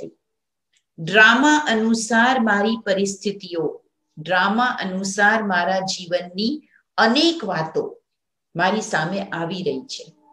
પરંતુ એમાં પણ આપણે સૌએ પ્રેમથી ડ્રામાના દરેક સીનને સ્વીકાર કરવાનું છે. અઢાર જાન્યુઆરીની મુરલી આપણે સૌએ સાંભળી. બાબાએ કહ્યું કે, યે ડ્રામા ડ્રામા કે રચયિતા બાપ કો પસંદ હૈ. જો આ ડ્રામા ક્રિએટર શિવ બાબાને પસંદ છે, તો એ ડ્રામાને આપણે પણ પસંદ કરવાનું છે. કારણ કે એણે જે કોઈક સ્ક્રિપ્ટ લખી છે, તો એ સ્ક્રિપ્ટમાં જરૂર કોઈના કોઈ રાઝ છે, સિક્રેટ છે. અને એ જ્યારે આપણે એક્સેપ્ટ કરી શકીએ, તો આપણા જીવનમાં બહુ જ એકદમ મેન્ટલી આપણે કુલ થઈ જઈએ કામ થઈ શકીએ. મારા જીવનનો એક અનુભવ આપની સાથે શેર કરું. હું સેવાની અંદર આવી જ્યારે હું પંદર વર્ષની જ ઉંમરથી અને સેવામાં આવી ગઈ. ખૂબ જ ઉત્સાહ અને એટલી બધી સેવાની લગન. અને ડ્રામા અનુસાર અમારા સેન્ટર પર ગુજરાતી હેન્ડ હું એક જ હતી. એટલે મને શરૂઆતથી ખૂબ જ સેવા મળી, ખૂબ જ સેવા મળી. સેવા કરતા કરતા કરતા અત્યંત સેવાના અનુભવમાં આગળ વધી. પણ પછી કોઈ ના કોઈ હિસાબ કિતાબ દરેક આત્માની સાથે, સ્થાનની સાથે આપણું, જેને આપણે કહીએ ને લેન દેન કોઈ પણ સ્થાનની સાથેનું જેટલું આપણું લેનદેન હોય, જેટલું હિસાબ કિતાબ હોય, એટલું જ એ સ્થાન પર એ વ્યક્તિની સાથે આપણે રહી શકીએ. તો ડ્રામા અનુસાર મારો પર પાર્ટ ચેન્જ થયો અને હું ગુજરાતથી રાજસ્થાનમાં આવી. તો રાજસ્થાનમાં મને દાદી, કુમારકા દાદી, પ્રકાશમણી દાદીજીએ વિશેષ રૂપથી મને આ સેન્ટર પર મોકલી. તો ત્યારે મને ખૂબ જ નિશ્ચય હતો કે મને દાદીએ પોતાના હાથે એ લેટર લખીને આપ્યો હતો કે ગીતા એ સેન્ટર પર જાયગી. પણ એ નિશ્ચયથી મને એટલું બધું બળ મળતું હતું. પણ જેવી હું રાજસ્થાનમાં આવી સેવામાં, એના વિધિન સિક્સ મંથમાં મારા મને શરીરમાં બીમારી આવી ગઈ. ટ્યુબરક્લોસિસ થઈ ગયું. અને રાજસ્થાનમાં હાર્ડ ભૂમિમાં મારે સેવાની પણ ખૂબ જ શોખ હતો. પણ જ્યારે મને ટીબી થઈ ગયું, તો એના કારણે થોડાક ટાઈમ મારી સેવામાં ટ્રીટમેન્ટને કારણે કંઈ ને કંઈ તકલીફ આવવા લાગી. પણ મને એમ હતું કે જો બાબાએ મને બોલાવી છે, તો બાબા મારા આ શરીરને યુઝ કરશે. કારણ કે આ બાબાનું ઇન્સ્ટ્રુમેન્ટ છે. આ મારું નથી, તો બાબાએ જ એને યુઝ કરવાનું છે. ટીબીની સ્ટેજ એટલી આગળ વધી ગઈ કે એ એમડીઆર લેવલનું ટીબી થઈ ગયું. નોટ ક્યોરેબલ એવું લાગતું હતું. અને જ્યારે એની ટ્રીટમેન્ટ શરૂ કરી, તો મેં એની, જ્યારે મેડિસિન લીધી, તો એ મેડિસિનની અંદર મને રિએક્શન થવા લાગ્યું. મને ખાલી પેટે સવારે છ સાત ટેબ્લેટ લેવી પડતી. આઈસોનેક્સ ને બધી બહુ ભારી ગોળીઓ હતી. અને એનાથી મારું લીવર ટોટલ ડેમેજ થઈ ગયું. અને એ લીવરને કારણે એક પણ કણ ભોજનનો અંદર ટકવાનો નહીં. અને તરત જ એની ઉલટી થતી હતી. પછી ખૂબ જ તકલીફમાંથી પછી લીવરની ટ્રીટમેન્ટ થઈ દવાઓ બંધ કરી. પણ ટીબી તો ચાલુ જ હતું. દવા તો લેવાની જ હતી. ત્યાર પછી અહીંયા જેનું ટ્યુમર હતું, એનું એક નાની સર્જરી થઈ. એ સર્જરી પછી પાછી ટ્રીટમેન્ટ ચાલુ થઈ તો પણ દવા સૂટ ન થાય. પછી ઇન્જેક્શન દ્વારા દવા સ્ટાર્ટ થઈ. તો સ્ટ્રેપ્ટોમાઇસિનના injection one hundred fifty injection એક પછી એક ડેલી ઓલ્ટરનેટ ડે લેવાના શરૂ થયા. પણ મને એટલી ખુશી કે જ્યારે મેં એ સંકલ્પ રાખ્યો કે આ શરીર બાબાનું છે, તો આ આખી જ પ્રોસેસ લગભગ ત્રણ, સાડા ત્રણ વર્ષ ચાલી. પણ એક પણ દિવસ કોઈ પણ પ્રકારની મારા ભાગની સેવા મિસ બાબાએ ન જ કરવા દીધી. કારણ કે નિશ્ચય હતો કે બાબા યુઝ કરી રહ્યા છે. એના પછી મને એક જ સંકલ્પ આવ્યો કે બાબા કહે છે કે બધું જ આત્માનો હિસાબ કિતાબ છે. શરીરનો નથી. શરીર તો એને ભોગવે છે. કર્મ આત્માના છે. શરીર કેવલ ઇન્સ્ટ્રુમેન્ટ છે સુખ કે દુઃખને ભોગવવા માટેનું. તો મેં નિશ્ચય કર્યો કે હવે મારે કોઈ પણ પ્રકારની દવા નથી લેવી ને મારે યોગનો જ પ્રયોગ કરવો છે. ટ્વેન્ટી વન ડેઝ માટે હું અમૃત વેલા સાડા ત્રણે તો આપણે ઉઠતા જોઈએ પણ અઢી વાગે ઉઠીને વિશેષ તપસ્યા શરૂ કરી. અને એમાં એક જ સંકલ્પ રાખ્યો કે હું માસ્ટર સર્વશક્તિમાન છું અને પ્રકૃતિ ઉપર વિજયી છું. જો બાબા કહે છે ને, જૈસા સોચોગે વૈસા બનોગે. અને એ સંકલ્પમાં અમૃત વેલે અઢી વાગ્યાથી જે યોગ તપસ્યા કરી. અને એકવીસ દિવસ પછી મેં ટોટલ ડોક્ટરને પૂછ્યા વગર બધી જ મેડિસિન બંધ કરી દીધી. ડોક્ટરે મને ત્રણ વાતો કીધી હતી. એક, કે તમારું વેટ ક્યારેય ગેન નહીં થાય. તમે હંમેશા બહુ જ કમજોર દેખાશો. બીજું કે તમારી અંદર રેડનેસ નહીં આવે. ફીકું ફીકું રહેશે, તમારી અંદર હિમોગ્લોબિનની ઓલવેઝ કમી રહેશે. અને ત્રીજું કે તમારું સ્ટેમિના તમે જેવું ધારશો એવું જિંદગીભર નહીં રહે. તમે ભાગદોડ નહીં કરી શકો, તમે આરામ આરામથી સાધારણ કામ કરી શકશો. એટલું તમારું આ બધું ડેમેજ થયું છે. ગ્લેન્ડ્સની અંદર અને ફેફડાની અંદર ટીબીની અસર હતી. પરંતુ જ્યારે મેં મેડિસિન બંધ કરી, ત્યારથી માંડીને આજ સુધીમાં માઇનર એક બે વખત જ્યારે મારી કોઈ સર્જરી થઈ એ દિવસોમાં મેં થોડીક મેડિસિન લીધી. બાકી આજની તારીખ સુધીમાં પણ એક પણ મેડિસિન નહીં અને ક્યારેય પણ કોઈ પણ સેવા બંધ નથી રહેતી અને દરેકે દરેક પ્રકારની સ્ટેમિના છે અને બાબાની યાદથી બધું જ થઈ શકે છે. કારણ કે એક જ સંકલ્પ હતો કે આ બોડી આ શરીર બાબાને અર્પણ છે. અને બાબાને અર્પણ છે તો એના ડોક્ટર પણ બાબા છે. તો એ નિશ્ચય જ મારી પરિસ્થિતિઓને દૂર કરી. નહીતર કદાચ આજ સુધી પણ એ જ પરિસ્થિતિને એ જ ટ્રીટમેન્ટમાં મારે રહેવું પડત. તો આ મારા જીવનનો પર્સનલ એક્સપિરિયન્સ છે કે જ્યારે તમે શક્તિશાળી થોટ્સ ક્રિએટ કરો છો, ત્યારે તમારા બધા જ પ્રોબ્લેમ્સ ખતમ થાય છે. તો નિશ્ચય બુદ્ધિ બાબા એટલા માટે આપણને કહે છે કે જેનાથી તમારા સબકોન્શિયસમાં એક પાવર ઉત્પન્ન થાય છે. આપણું જે ઇન્ટરનલ મેકેનિઝમ છે, એમાં સબકોન્શિયસ છે, એ જ ઓનર છે. બાકી જે આપણું કોન્શિયસ માઇન્ડ છે ને, એ તો સર્વેન્ટ છે. એ તો એની પાછળ ફોલો કરે છે. પણ જ્યારે અંદરથી પ્રોગ્રામ ફિક્સ મળી જાય છે કે હું એક શ્રેષ્ઠ આત્મા છું, બાબા મારી સાથે છે, હું સતયુગી દેવતા બનનારી આત્મા છું. એ જ્યારે અંદરનું કોન્શિયસ એને સ્વીકાર કરી લે છે પછી બોડીને, પરિસ્થિતિને, બધી જ વસ્તુને એની પાછળ ચાલવું જ પડે છે. પણ અંદર જો નિશ્ચય ના હોય, તો આપણે બધી જ પ્રકારની સ્ટ્રગલ કરીએ. ફાઇટ્સ કરીએ ચેન્જીસ લાવીએ, લોકોની સાથે રહીએ, પણ દરેકમાં આપણી હંડ્રેડ પર્સન્ટ સફળતા આપણને મળતી જ નથી. તો હંમેશા કોઈ પણ પ્રકારના હિસાબ કિતાબ હોય.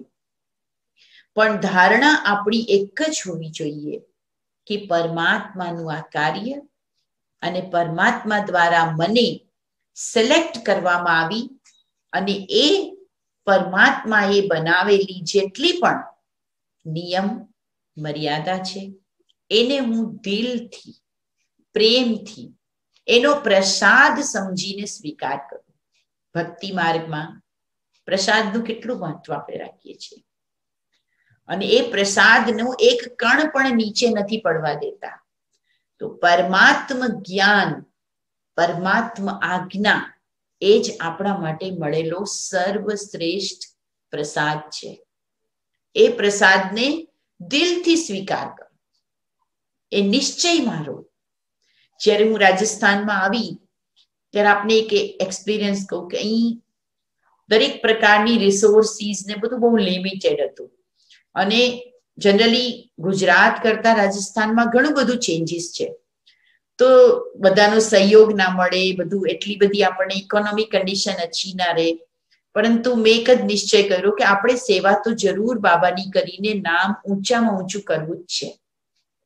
ત્યારે જેમ હમણાં વૈશાલીબેન કહેતા હતા, તો આ મેડિકલ સર્વિસીસ ચાલુ કરી, કે જેનાથી લોકોને, લોકોના મનમાં આબુની આસપાસનો જે ક્ષેત્ર છે એમાં લોકોના મનમાં એક જ ભાવના છે, કંઈક આપવાની નહીં. પણ આ મોટી સંસ્થા છે તો એનાથી આપણને કંઈક મળે. તો હવે એ જ મેન્ટાલિટીને આપણે પકડવી પડે કે એ લોકોને આપણે આપવાનું છે. એની પાસેથી આપણને કંઈ મળવાનું નથી. તો પછી મેં એ જ નિશ્ચય રાખ્યો કે આપણે વધુ ને વધુ લોકોની સેવા કરીએ. એ લોકો ક્યારે સેન્ટર આપે ને એ લોકો ક્યારે સહયોગ આપે એ બધું ભૂલીને બસ બાબાએ આપણને કીધું છે, તમે દેવતા છો, તમે દાતા છો, આપણે આપીએ. અને જ્યારે આ બધા મેડિકલ સર્વિસીસ ચાલુ કરી, તો એનાથી એટલું બધું ચેન્જીસ આવ્યું કે એ જ કાર્યમાં જોડાયેલા લોકો હેલ્પફુલ બનવા લાગ્યા. અને આજે જે બાબાનું બિલ્ડિંગ છે, એ આખું બિલ્ડિંગ પણ એ જ બધા લોકો, જે લોકોએ આ સર્વિસીસથી લાભ લીધો સ્પોન્સર કરીને જોયું કે આ લોકો કેટલા દિલથી સેવા કરે છે. એ બધા સહયોગી બની ગયા. અમે લોકોએ એકસો આઠ કલાકની ભઠ્ઠી રાખી હતી. ખાસ જ્યારે એક એવું અમારું મકાન હતું સેન્ટરનું, કે જેમાં એક લેન્ડલોર્ડ લેડી હતી, તો એ એટલી બધી તકલીફ આપતી હતી કે કોઈ સેન્ટર પર આવે તો એને આવવા ન દે, પછી કંઈ તકલીફ હોય તો એ કંઈ આપણું ધ્યાન ન રાખે અને દરેક વસ્તુમાં બધું એક્યુરેટ રહેવું જોઈએ, એનું ઘર સાફ રહેવું જોઈએ. એના ઘરમાં કોઈ પણ તકલીફ, અવાજ ના આવવો જોઈએ. એ રીતે અને પછી ત્યારે એમને બહુ કંટાળી ગયા હતા. ત્યારે એકસો આઠ કલાકની ભઠ્ઠી રાખી. રોજના દસ કલાક અમે લોકો યોગ કરતા હતા. તો લગભગ છ કે સાત દિવસ થયા હતા. તો સાંજના ટાઈમે એક વખત અમે બે બહેનો હતા. તો એમ જ એવું લાગ્યું કે બધા યોગ કરે છે, આપણે થોડુંક વોક કરીને આવીએ ત્યાં સુધી. ભઠ્ઠી કન્ટિન્યુઅસ ચાલુ રહેતી હતી. અમે લોકો વોક કરવા માટે નીકળ્યા. તો એક ઘર હતું, એની બહાર એનો વોચમેન ઊભો હતો. એણે એવું કીધું કે અમારા માલિક છે ને, એ બોમ્બે થી આવેલા છે, તો તમે જરાક એને મળવા આવો ને, તમને બોલાવે છે. બિલકુલ અનનોન તો અમે કીધું, ચાલો જઈએ. તો જ્યારે અમે ત્યાં પહોંચ્યા, તો એમણે અમને બેસાડ્યા અને એણે કીધું કે, મારી પાસે છે ને, તમારી સંસ્થાની બીકેસની થોડીક કેસેટ્સ ને એવું બધું પડ્યું છે. તો તમે લઈ જાઓ અને તમે યુઝ કરજો, કારણ કે મેં તો બધું જોઈ લીધું છે. તમને કામ આવશે. ઓકે પછી એમને સામેથી પૂછ્યું કે અહીંયા તમે ક્યાં આગળ તમારું સેન્ટર છે? ત્યારે અમને બહુ જ તકલીફ હતી ઘરની. બાબાનું ઘર બન્યું નહોતું રેન્ટ પર હતું અને એમાં પણ બહુ જ તકલીફ હતી. પણ સંકલ્પ હતો, ભઠ્ઠી ચાલુ હતી. તમે કીધું કે આ આ જગ્યાએ છે, અત્યારે અમારું સેન્ટર બેઝ છે. તમે કીધું કે તમે એ લેડીની સાથે રહો છો, તમને તકલીફ નથી થતી? એટલે પણ એને ઓળખતા હતા. એટલે પછી મેં કીધું કે હા, થોડી ઘણી તકલીફ થાય છે, પણ અમે લોકો એને માઇન્ડ નથી કરતા. તો કે તમે એક નવું મકાન બનાવો અને એની અંદર રહો. પણ અમે કીધું કેવી રીતે બનાવીએ ને? અમારી પાસે એટલું બધું કઈ અત્યારે સુવિધા નથી. તો એણે કીધું કે તમે કોઈ પ્લોટ જોયો છે? કીધું કે હા પ્લોટ પણ જોયો છે. તો તમે એ પ્લોટ વાળાને મારી પાસે મોકલો. એટલે અમને એમ થયું કે ચલો ભઠ્ઠી ચાલે છે કદાચ એ થોડોક પ્લોટ વાળાને સસ્તું કરાવી અને બાબાના ઘરની સ્થાપના કરાવવામાં મદદગાર બનશે. તો પેલા પ્લોટ વાળા ભાઈ એમની પાસે ગયા. તો વિધિન એન અવર મારી પાસે એ ભાઈએ ફોન કર્યો કે, બેન કોંગ્રેચ્યુલેશન તમને જમીન મળી ગઈ. તો આ તરફ તો યોગ ચાલુ હતો ને આ તરફ બાબા પોતાનું કાર્ય કરાવી રહ્યા હતા. તો એ પ્લોટ એમણે પોતાના તરફથી જ બાબાના ઘર માટે આપી દીધો. જસ્ટ એક સંકલ્પથી યોગ ચાલુ હતો એનાથી.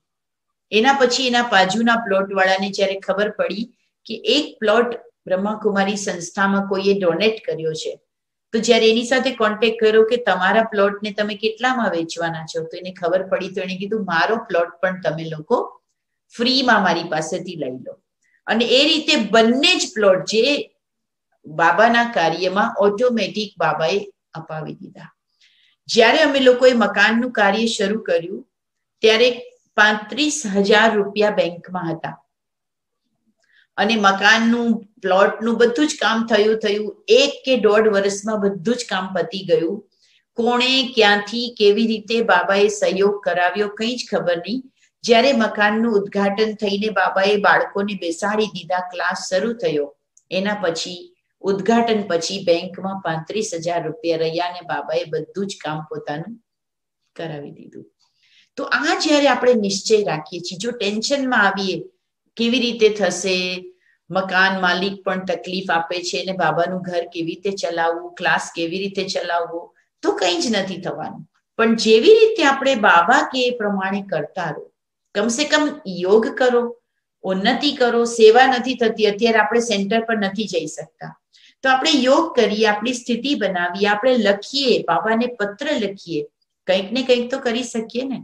પણ આપણે એમ વિચારીએ કે હવે તો કેવી રીતે થાય? પહેલા તો હું સેન્ટર પર જઈને સેવા કરતી, પહેલા તો હું મારો સારો ટાઈમ સ્પેન્ડ કરતી, હવે હું કંટાળી ગઈ છું નહીં. બાબા કે છે કે બાબાના દરેક બાળકોની સાથે સદા બાબા છે. એ વાતને નિશ્ચયથી અનુભવ કરીએ. એ પણ અનુભવ કરીએ કે આ કાર્ય પરમાત્મા કેવી રીતે ચલાવી રહ્યા છે. વર્તમાન સમયની પરિસ્થિતિઓ આપણને અનુભવ કરાવે છે કે આપણે ન્યારા થવાનું છે. આપણે વધુ ને વધુ સંસારને વાઇબ્રેશન આપવાના છે. આ પરિવર્તનનો ટાઈમ છે અને પરિવર્તનની સાથે બાબાની પ્રત્યક્ષતાનો પણ આ જ ટાઈમ છે. જો સંસારમાં પરિસ્થિતિઓ ના આવે, તો પરમાત્મા તરફ ધ્યાન કેવી રીતે જશે લોકોનું?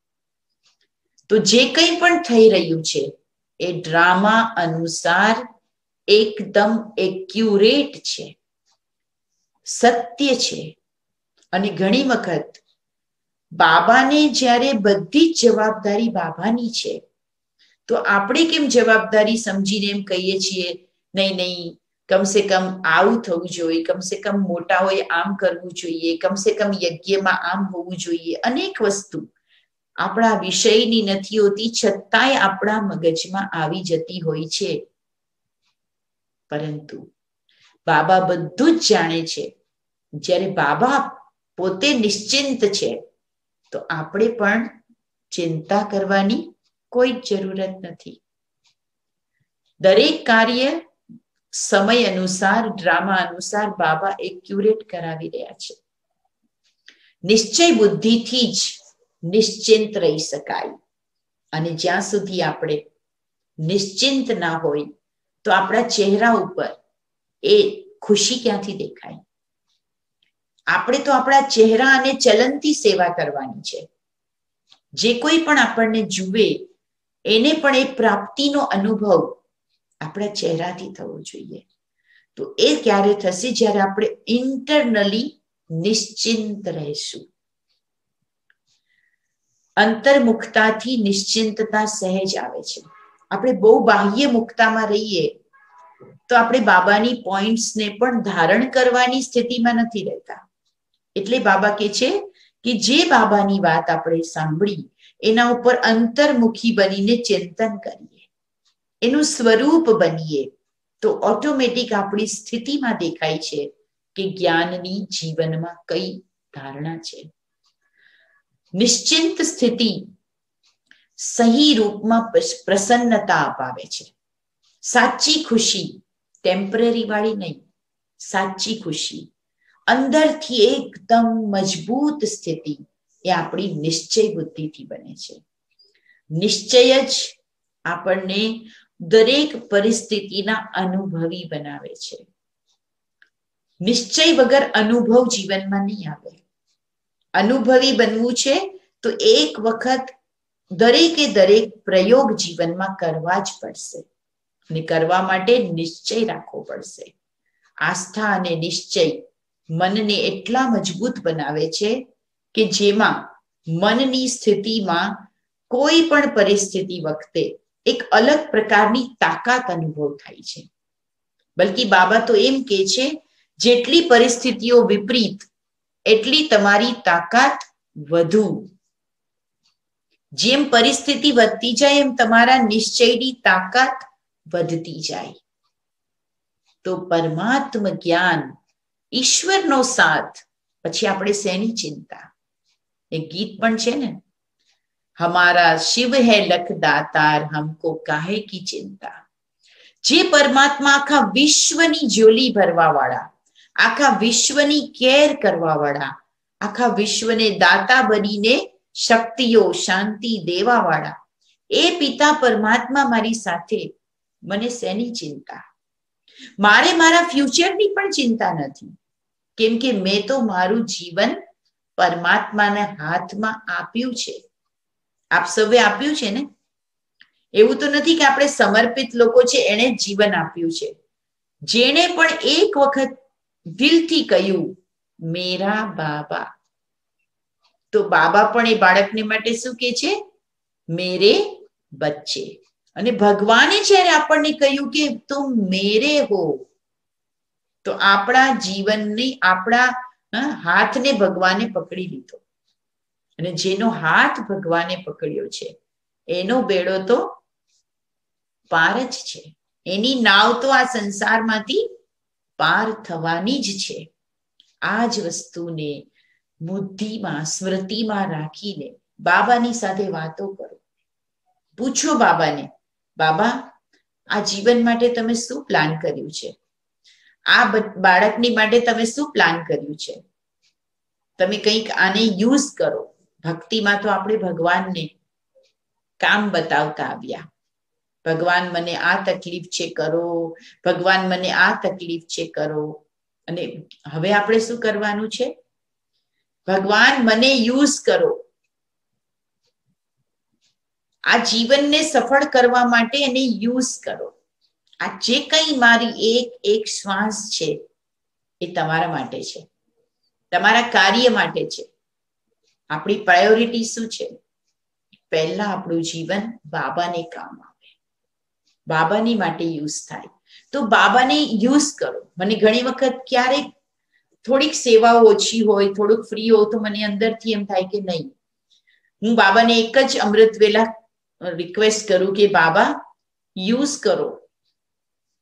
મારું ભાગ્ય ક્યારે બનશે? આને યુઝ કરો. મારા મનને, મારી બુદ્ધિને, મારી ટેલેન્ટને મારા ટાઈમને યુઝ કરો.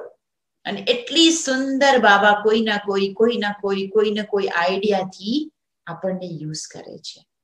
તો આ પણ નિશ્ચય છે કે સંગમ યુગમાં આપણા એક એક સંકલ્પ, એક એક આપણા કર્મને બાબા જુએ છે, સાંભળે છે, ઓબ્ઝર્વ કરે છે અને તરત જ એનો આપણા પ્રત્યે રિપ્લાય આવે છે રિસ્પોન્ડ મળે છે. અને જેને ભગવાન રિસ્પોન્ડ આપે, એને બીજું શું જોઈએ? જેને ભગવાન જ તરત જોઈને અને તરત યુઝ કરે, તરત જ એનો આન્સર આપે, એને બીજું શું જોઈએ? પણ ઘણી વખત આપણે નાની નાની, લોકોની તરફથી થતા વ્યવહારની વાતોમાં ભગવાનની પ્રાપ્તિઓને ભૂલી જતા હોઈએ છીએ. કોઈ વ્યક્તિ આપણને આપણા પ્રેમના બદલામાં રેસ્પોન્ડ ના કરે, આપણે ઉદાસ થઈ જઈએ. આપણું ઘરમાં સંતાનો છે, એ થોડોક આપણને પ્રેમ અને રિસ્પેક્ટ ના આપે તો આપણે ઉદાસ થતા હોઈએ છીએ. કે આજકાલના છોકરાઓ કેવા છે, આજકાલના બાળકો આપણને રિસ્પેક્ટ નથી આપતા. પણ જેને રિસ્પેક્ટ ભગવાન આપે, જેને રોજ નમસ્તે ભગવાન કરે જેને મીઠે બચ્ચે, પ્યારે બચ્ચે સિકી લધે બચ્ચે કરીને દિલથી પરમાત્મા પત્ર મોકલે, એને કદાચ જે લૌકિક કે આપણા આસપાસના લોકો ન જાણે, ન સમજે, ન રિસ્પેક્ટ આપે, તો ક્યાં એની જોલી ખાલી રહેવાની છે? અને એ પણ સમય આવશે કે એ બધા લોકોને પણ તમારું સત્ય સ્વરૂપ તમારી ધારણાઓથી એક દિવસ ખબર પડશે કે આ અમારા ઘરમાં કોઈ દેવી અને દેવતાની આત્મા છે. ભગવાનના વિશેષ રત્ન મારા ઘરમાં છે, પણ ત્યાં સુધી મને મારા નિશ્ચયમાં એક જ સંકલ્પ રહેવો જોઈએ કે હું ભગવાન દ્વારા સિલેક્ટ થયેલી વિશેષ આત્મા છું. તો આપ સૌ એવા જ નિશ્ચયના નશામાં, શક્તિમાં. જરાય પણ ક્યારે હલચલ નહીં. થશે કે નહીં, થશે નહીં. જે આઈડિયા, જે વિચાર પરમાત્માએ આપ્યો છે, એ તો પ્રેક્ટિકલમાં થવાનું જ છે. કલ્પ પહેલા પણ આપણે જ બન્યા હતા, અત્યારે પણ આપણે જ બની રહ્યા છીએ અને કલ્પ કલ્પ આપણે જ ફરીથી લાયક યોગ્ય સંપૂર્ણ બનવાના જ છીએ. કારણ કે આપણે નહીં બનીએ તો કોણ બનશે? તો આવી સુંદર મનની ભાવનાઓ રાખી અને દરેક પરિસ્થિતિમાં વિજયનું તિલક બાબા મારા મસ્તક પર આપી રહ્યા છે, હું એની યોગ્ય આત્મા છું. એ સંકલ્પમાં રહીએ. આપ સૌને મળીને ખૂબ જ ખુશી થઈ અને અમેરિકામાં બેઠા પણ બાબાના જ્ઞાનની જ્યોતને આટલી સરસ જગાવી રહ્યા છો. એના માટે આપ સૌને પણ બહુ બહુ બધાઈ ગુજરાતી સમાજ એટલે જ્યાં જાય ત્યાં પોતે એકલા નહીં, પણ અનેકોને પણ સાથે જોડનારા એ બાબાએ વરદાન આપેલું છે. ખાસ વૈશાલી બેન ખૂબ જ ઉમંગ ઉત્સાહ વાળી આત્મા છે ને એ તમને ટીચરના રૂપમાં મળ્યા છે. તમારું પરમ સૌભાગ્ય છે. કારણ કે ઇન્ડિયામાં પણ વૈશાલીબેને એટલી સરસ સેવાઓ કરી છે. અને હું જોઉં છું હંમેશા કે એમનું પણ બહુ જ ક્રિએટિવ હંમેશા આઈડિયાઝ બાબાના ઇમ્પ્લિમેન્ટ કરે છે પોતાની લાઈફમાં પણ અને તમારા સૌને માટે પણ. તો તમને સૌને આ ટુ થાઉઝન્ડ ટ્વેન્ટી વન યરની ખૂબ ખૂબ બધાઈ અને આ વર્ષના આ પ્રોબ્લેમમાંથી આપણે જલ્દી બહાર નીકળીએ અને જલ્દીથી ન્યૂ નોર્મલ લાઈફમાં આવીએ. એના માટે આપણે સરસ પુરુષાર્થ કરીએ. ઓમ શાંતિ. બેન એક સવાલ છે કે જે. તમે જે તમે હમણાં વર્ણન કર્યું ને કે તમે શીખ હતા તમે બીમાર હતા ત્યારે તમે યોગના પ્રયોગથી એને ઓવરકમ કર્યું. અને એટલે તમે કયા સંકલ્પો અને કયા અફર્મેશન યુઝ કરતા હતા? અને કેટલો સમય સુધી અમૃત વેલામાં તમે આ સંકલ્પ પર સ્થિત રહેતા હતા? અને પ્રકૃતિજીત બનવું જે દાદી પણ કહે છે બાબાની બુકમાં પણ કહેલું છે કારણ કે અમે રોજ બાબાની હવે હમણાં બ્રહ્મા બાબાની બુક રીડિંગ કરીએ છીએ તો એની અંદર પણ જ્યારે યજ્ઞની વાતો સાંભળે છે ત્યારે બધા એમ કહે છે કે પ્રકૃતિજીત બનો. દાદીઓ પણ દાદી જાનકી પણ બીમાર હતા ને એમણે પણ પ્રકૃતિજીત બન્યા છે. તો એવા શું પાવરફુલ સંકલ્પ હોવા જોઈએ પોતાની તબિયતની ઉપર? બિલકુલ. તો સૌથી પહેલા તો આ શરીર છે ને, એ ચોવીસે કલાક આત્માના વાઇબ્રેશન સ્કેચ કરે છે. તો પ્રકૃતિ આપણને એક ઢાંચો બનાવીને આપી દીધો. પણ એને એકચ્યુઅલી ચલાવીએ છીએ, આત્મા પોતાના સંકલ્પ અને વાઇબ્રેશનથી ચલાવી રહી છે. જ્યારે જ્યારે આત્મા વિષય, વિકાર, ભોગ અથવા વ્યર્થમાં હોય છે, ત્યારે એના વાઇબ્રેશન ટોટલ આપણી બધી જ ગ્લેન્ડ્સના દ્વારા બોડીની અંદર નેગેટિવ ઊર્જા નેગેટિવ એનર્જી કમજોરી ફેલાવે છે. પણ જ્યારે બાબાની સાથે આપણે કનેક્ટ છીએ, ત્યારે બાબાની શક્તિઓ જે આત્મામાં આવે છે, હું પર્ટિક્યુલરી મારે અહીંયા ગાંઠ હતી, તો હું મેં માસ્ટર સર્વશક્તિમાન હું કારણ કે સર્વશક્તિમાન બાબા હું એની સંતાન તો નેચરલી મને એનું માસ્ટર ફોર્મ મળ્યું છે। પછી મને બાબાની જે કનેક્શન થતાની સાથે કરંટ આવે છે, હું એને અહીંયા ટ્રાન્સફર કરતી હતી કે જે પાવર મને અહીંયા આવી છે, એ ટોટલ અહીંયા જેટલા પણ મારા જર્મ્સ છે, એને અંદરથી ખતમ કરી રહી છે. અને ત્યાર પછી પ્રકૃતિના પાંચેય તત્વોને થેન્ક્સ કહીએ. જલ, વાયુ, અગ્નિ, પૃથ્વી આ પાંચેય તત્વોએ મને ખૂબ સરસ સુખ આપ્યું છે. મારા મનમાં ઉત્પન્ન થતા બધા સંકલ્પોને સાકાર કરવામાં મારી આ બોડીએ મને કેટલો સહયોગ આપ્યો છે. તો ખૂબ જ પ્રેમથી આ પાંચેય તત્વોને ધન્યવાદ કરીએ. ક્યારેય પણ શરીરને આપણે ન તો બ્લેમ કરીએ, ના એને આ મને આવું શરીર કેમ મળ્યું? એ જો પ્રશ્ન ઉત્પન્ન કરીએ ને, મને પહેલા જ્ઞાન મળ્યું હોત તો સારું થાત. મને આવું બુઢાપામાં જ્ઞાન મળ્યું. કોઈ એમ કે છે કે મને આવું જ શરીર કેમ મળ્યું? No problem. જે કંઈ છે એને એક્સેપ્ટ કરો. આ જ મારા માટે અતિ ઉત્તમ સાધન છે અને આ સાધનમાં જ મારે તપસ્યા કરવાની છે. એટલે ખૂબ જ પ્રેમ કરો શરીરને. નફરત ક્યારેય નહીં કરો. આ બોડી મને બહુ જ જ્યાં સુધી હું જીવીશ ત્યાં સુધી મને ખૂબ જ શક્તિ આપનારું છે. તો હું એક જ એફર્મેશન અઢી વાગ્યાથી પોણા પાંચ સુધી.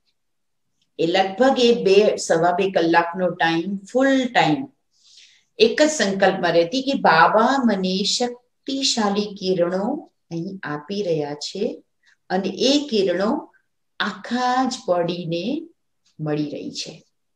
જેનાથી હીલિંગ ટોટલ ક્યોર બોડીની અંદર બધી જ એક એક ઓર્ગન ક્યોર થઈ રહ્યા છે.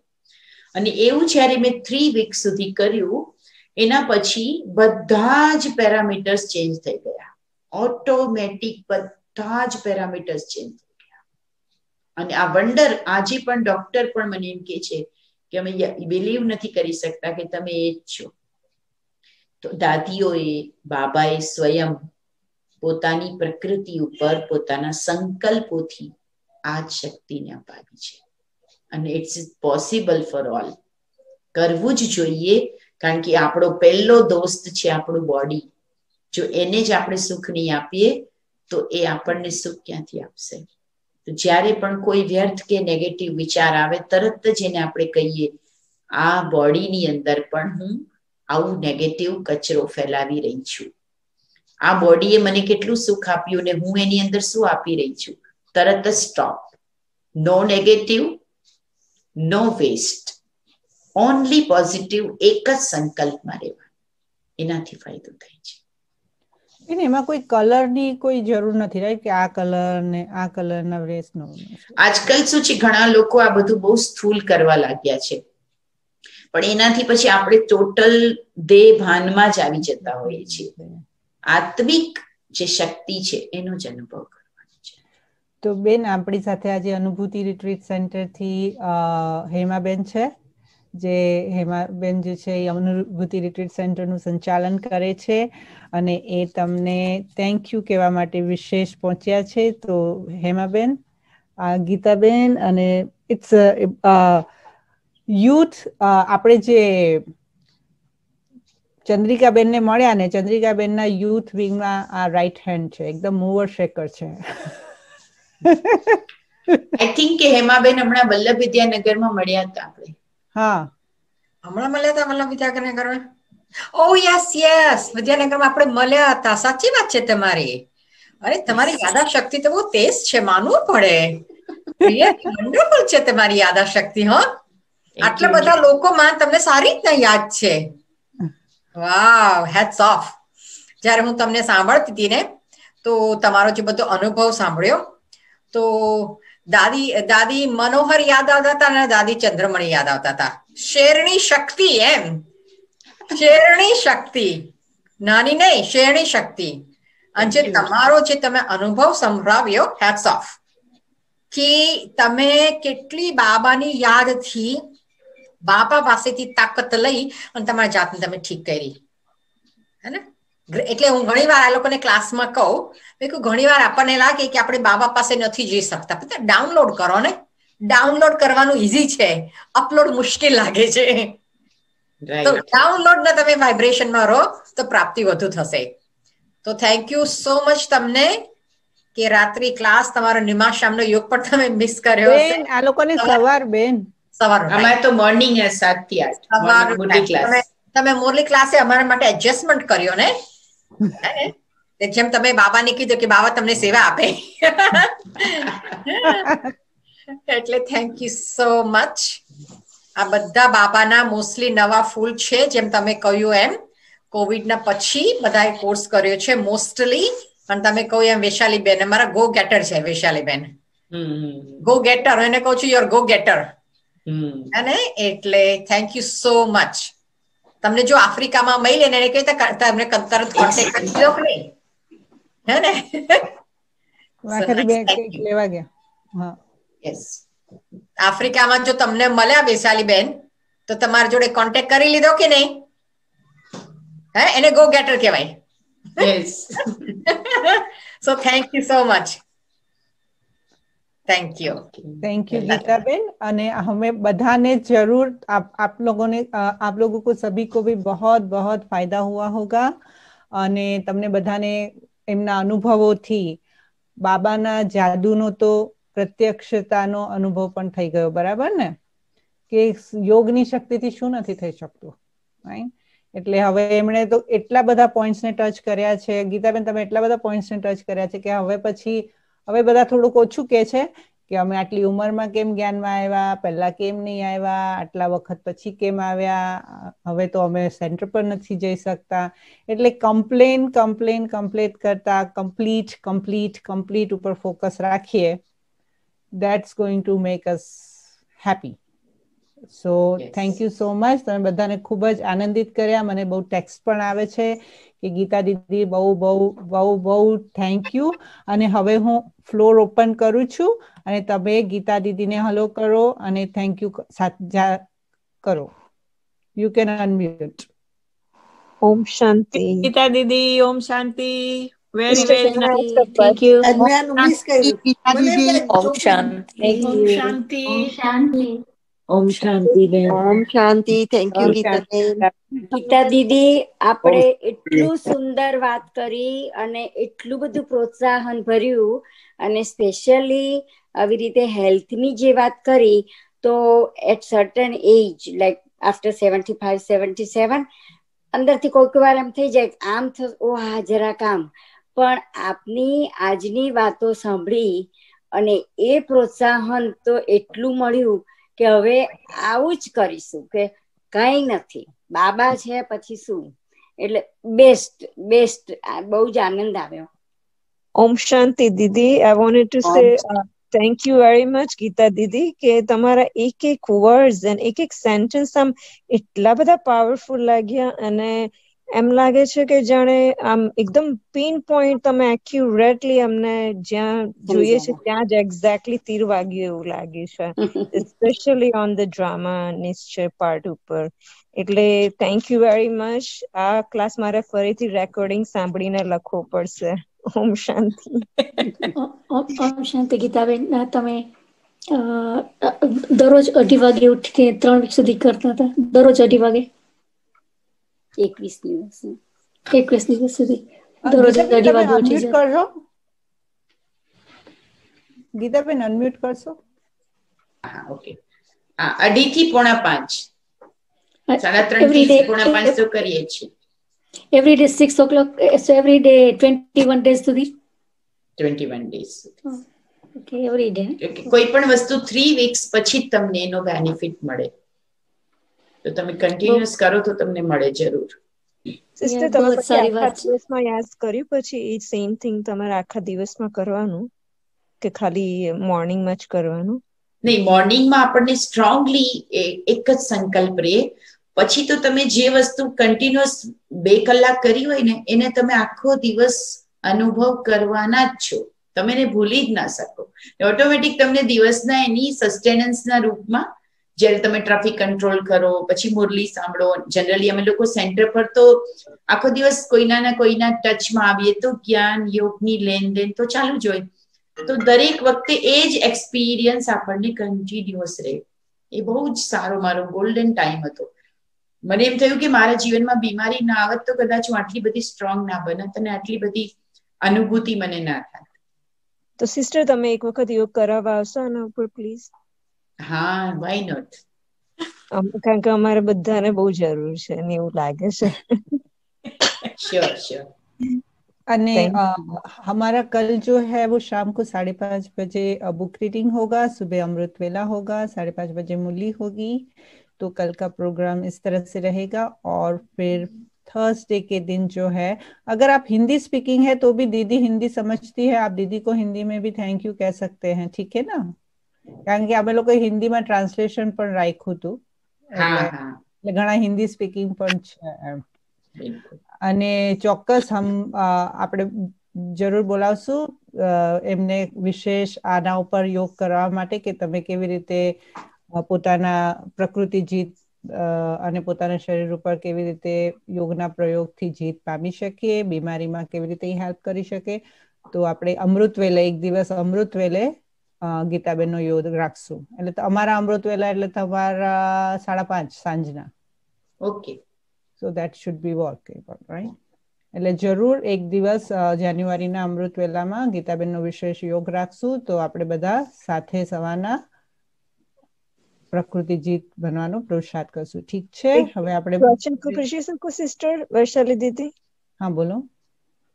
દીદીને પૂછ્યું હતું ગીતા દીદીને કે જે ડ્રામામાં નિશ્ચય છે તમે કહ્યું તો એક્ઝેક્ટલી અમારે શું થોટ એના ઉપર ક્રિએટ કરવાના? એક્ઝેક્ટલી તો બરાબર નિશ્ચય રહે કારણ કે કોઈ વખત પરિસ્થિતિ આવી જાય ને તો એ વખતે એ પોઈન્ટ ભૂલી જઈએ છે.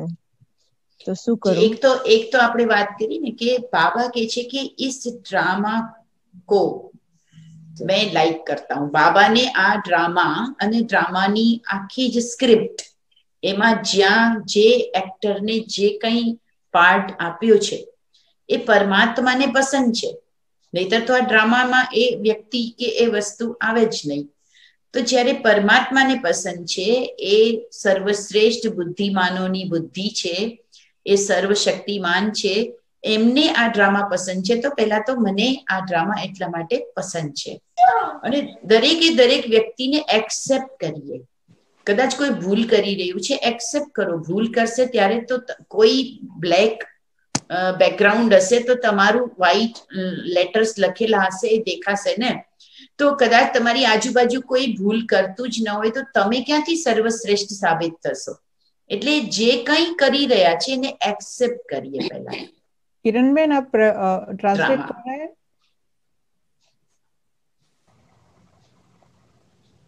ओके सॉरी बेन હા અને બીજું કે આ ડ્રામાનો જે સમય છે ને એ સમય પણ અત્યારનો જે ટાઈમ છે સંગમ યુગનો એ ખૂબ જ કલ્યાણકારી છે ડ્રામા તો ટોટલ કલ્યાણકારી છે પણ એમાં પણ અત્યારનો સંગમ યુગનો સમય ખૂબ જ કલ્યાણકારી છે એમાં જે કંઈ પણ થઈ રહ્યું છે એમાંના કલ્યાણના પાર્ટને આપણે શોધવાની કોશિશ કરવાની છે.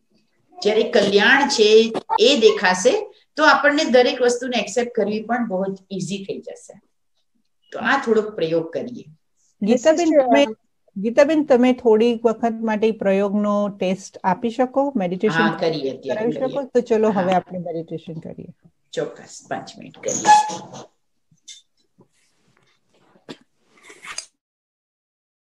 ગીતાબેન અનમ્યુટ કરજો, હા. મેં બધાને મ્યુટ કર્યા ને યુ ગોટ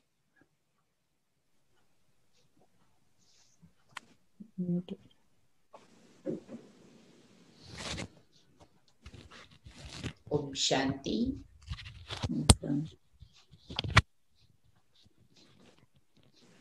સૌ પ્રથમ પ્રકૃતિ એક માના રૂપમાં જુઓ. એક માની જેમ પ્રકૃતિ. મધર નેચર આપણી સામે છે. હું આત્મા પરમધામથી મારો શ્રેષ્ઠ પાર્ટ પ્લે કરવા માટે આ દુનિયામાં આવી પ્રકૃતિ માએ એક સુંદર શરીરની રચના મારા માટે કરી છે.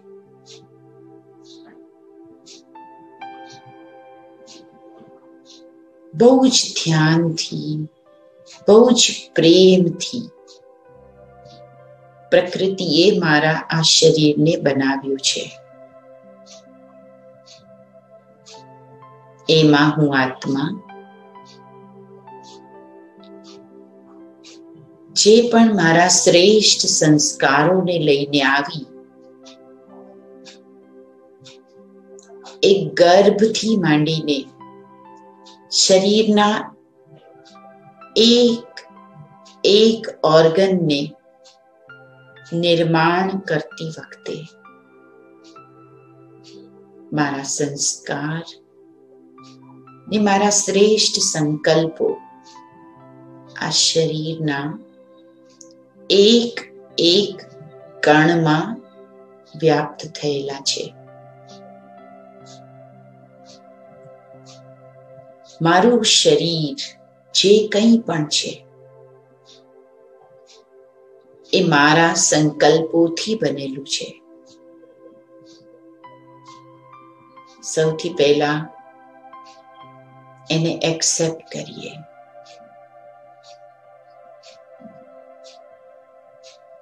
પ્રકૃતિનો ધન્યવાદ કરીએ. જે મધર નેચરે આપણને દુનિયાના લાખો લોકો વિશેષ આ વર્ષમાં લાસ્ટ યરમાં કેટલા લોકોને પોતાનું દેહ છોડીને આત્માને જવું પડ્યું. હું આત્મા હજી સુધી આ શરીરમાં છું. એના માટે પણ પ્રકૃતિને થેન્ક્સ કહીએ. પરમાત્માને થેન્ક્સ કહીએ. જેણે હજી સુધી આપણને આ સંસારમાં જીવતા રાખ્યા છે. મારા શરીરના એક એક ઓર્ગનમાં હું આત્મા બ્રેઇનના થ્રુ સંકલ્પના વાઇબ્રેશન્સ પહોંચાડું છું આ સંગમ યુગમાં મને બાપ દાદા સ્વયં સર્વશક્તિમાન પરમાત્મા મળ્યા છે. પરમાત્માએ મને પોતાનું બાળક બનાવ્યું. પોતાના પરિવારમાં મને મેમ્બર બનાવી. વાહ! હું પરમાત્મા પરિવારનો મેમ્બર છું.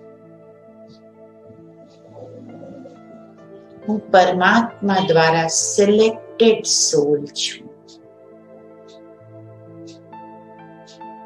જે પરમાત્મા સર્વશક્તિમાન સંસારની સૌથી મોટી ઓથોરિટી હું એની સાથે કનેક્ટેડ છું. અને જ્યારે હું પ્રેમપૂર્વક પરમાત્માના દિવ્ય સ્વરૂપને જોઉં છું, એ પરમ પવિત્ર જ્યોતિની કિરણો મુજ આત્માની ઉપર વરસવા લાગે છે. જસ્ટ ફીલ કરો. માત્ર એક થોટ કે બાબા આપ તો મારા છો બાબા આપની નજર મારી ઉપર છે આ થોટ પરમાત્માની પવિત્ર કિરણોને મારી ઉપર એક ફાઉન્ટેનની જેમ વરસાવા લાગે છે પરમાત્મા પ્રેમ પરમ શક્તિ એક એક કિરણોમાં મારી ઉપર આવી રહી છે. મારા બ્રેનને આ હીલિંગ પાવર મળી રહી છે. શરીરના પર્ટિક્યુલર કોઈ પણ ઓર્ગનને જેને આપણે વિશેષ શક્તિ દેવા માંગીએ છીએ બ્રેનમાં આવતી બાબાની હીલિંગ પાવરને એ ઓર્ગન તરફ ટ્રાન્સફર કરો પ્રકૃતિથી પ્રાપ્ત મારા આ શરીરને. પ્રકૃતિ પતિ પરમાત્મા. ચાર્જ કરી રહ્યા છે. બાબાની હીલિંગ રેસ મારા અંતઃકરણમાં. એક એક ઓર્ગનમાં ઉતરી રહી છે, પહોંચી રહી છે. પાવરફુલ ચમકદાર કિરણોને અનુભવ કરો.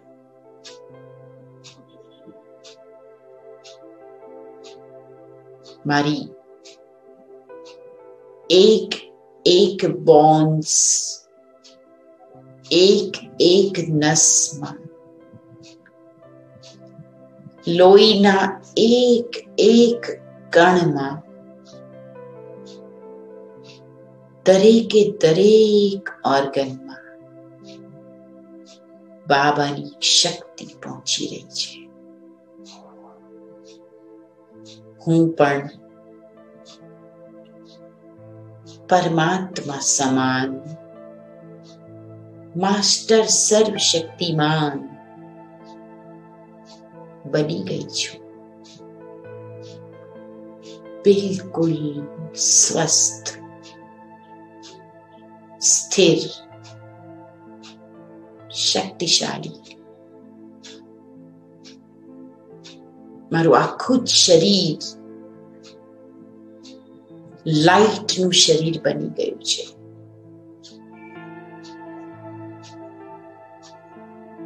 સ્થૂલ રૂપ નથી સૂક્ષ્મ લાઈટનું શરીર અનુભવ કરું. એની વચમાં હું ચમકતી આત્મા. બાબા, આ તન, આ મન આપને સમર્પિત છે. બાબા, આ તનને, મનને, બુદ્ધિને આપ યુઝ કરો બાબા કહે છે હા બાળકો હા મીઠે બચ્ચે તમારા આ તનથી આસપાસના વાતાવરણમાં આ શક્તિશાળી કિરણોને ફેલાવો હું જ્યાં પણ બેઠી છું આખા રૂમમાં આ પાવરફુલ વાઇબ્રેશન શરીરના એક એક છિદ્રથી નીકળીને રૂમના ખૂણા ખૂણા સુધી પહોંચી રહ્યા છે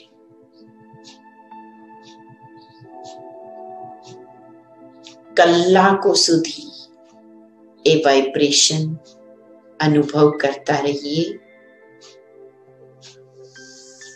આ ચાર્જ થયેલું મારું આ શરીર.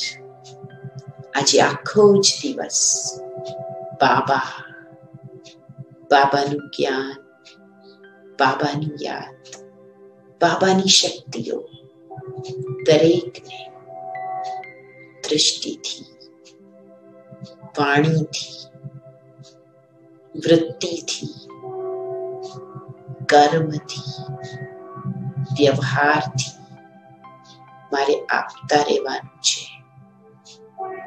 ભરપૂર છું.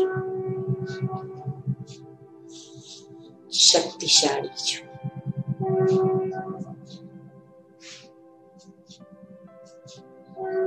just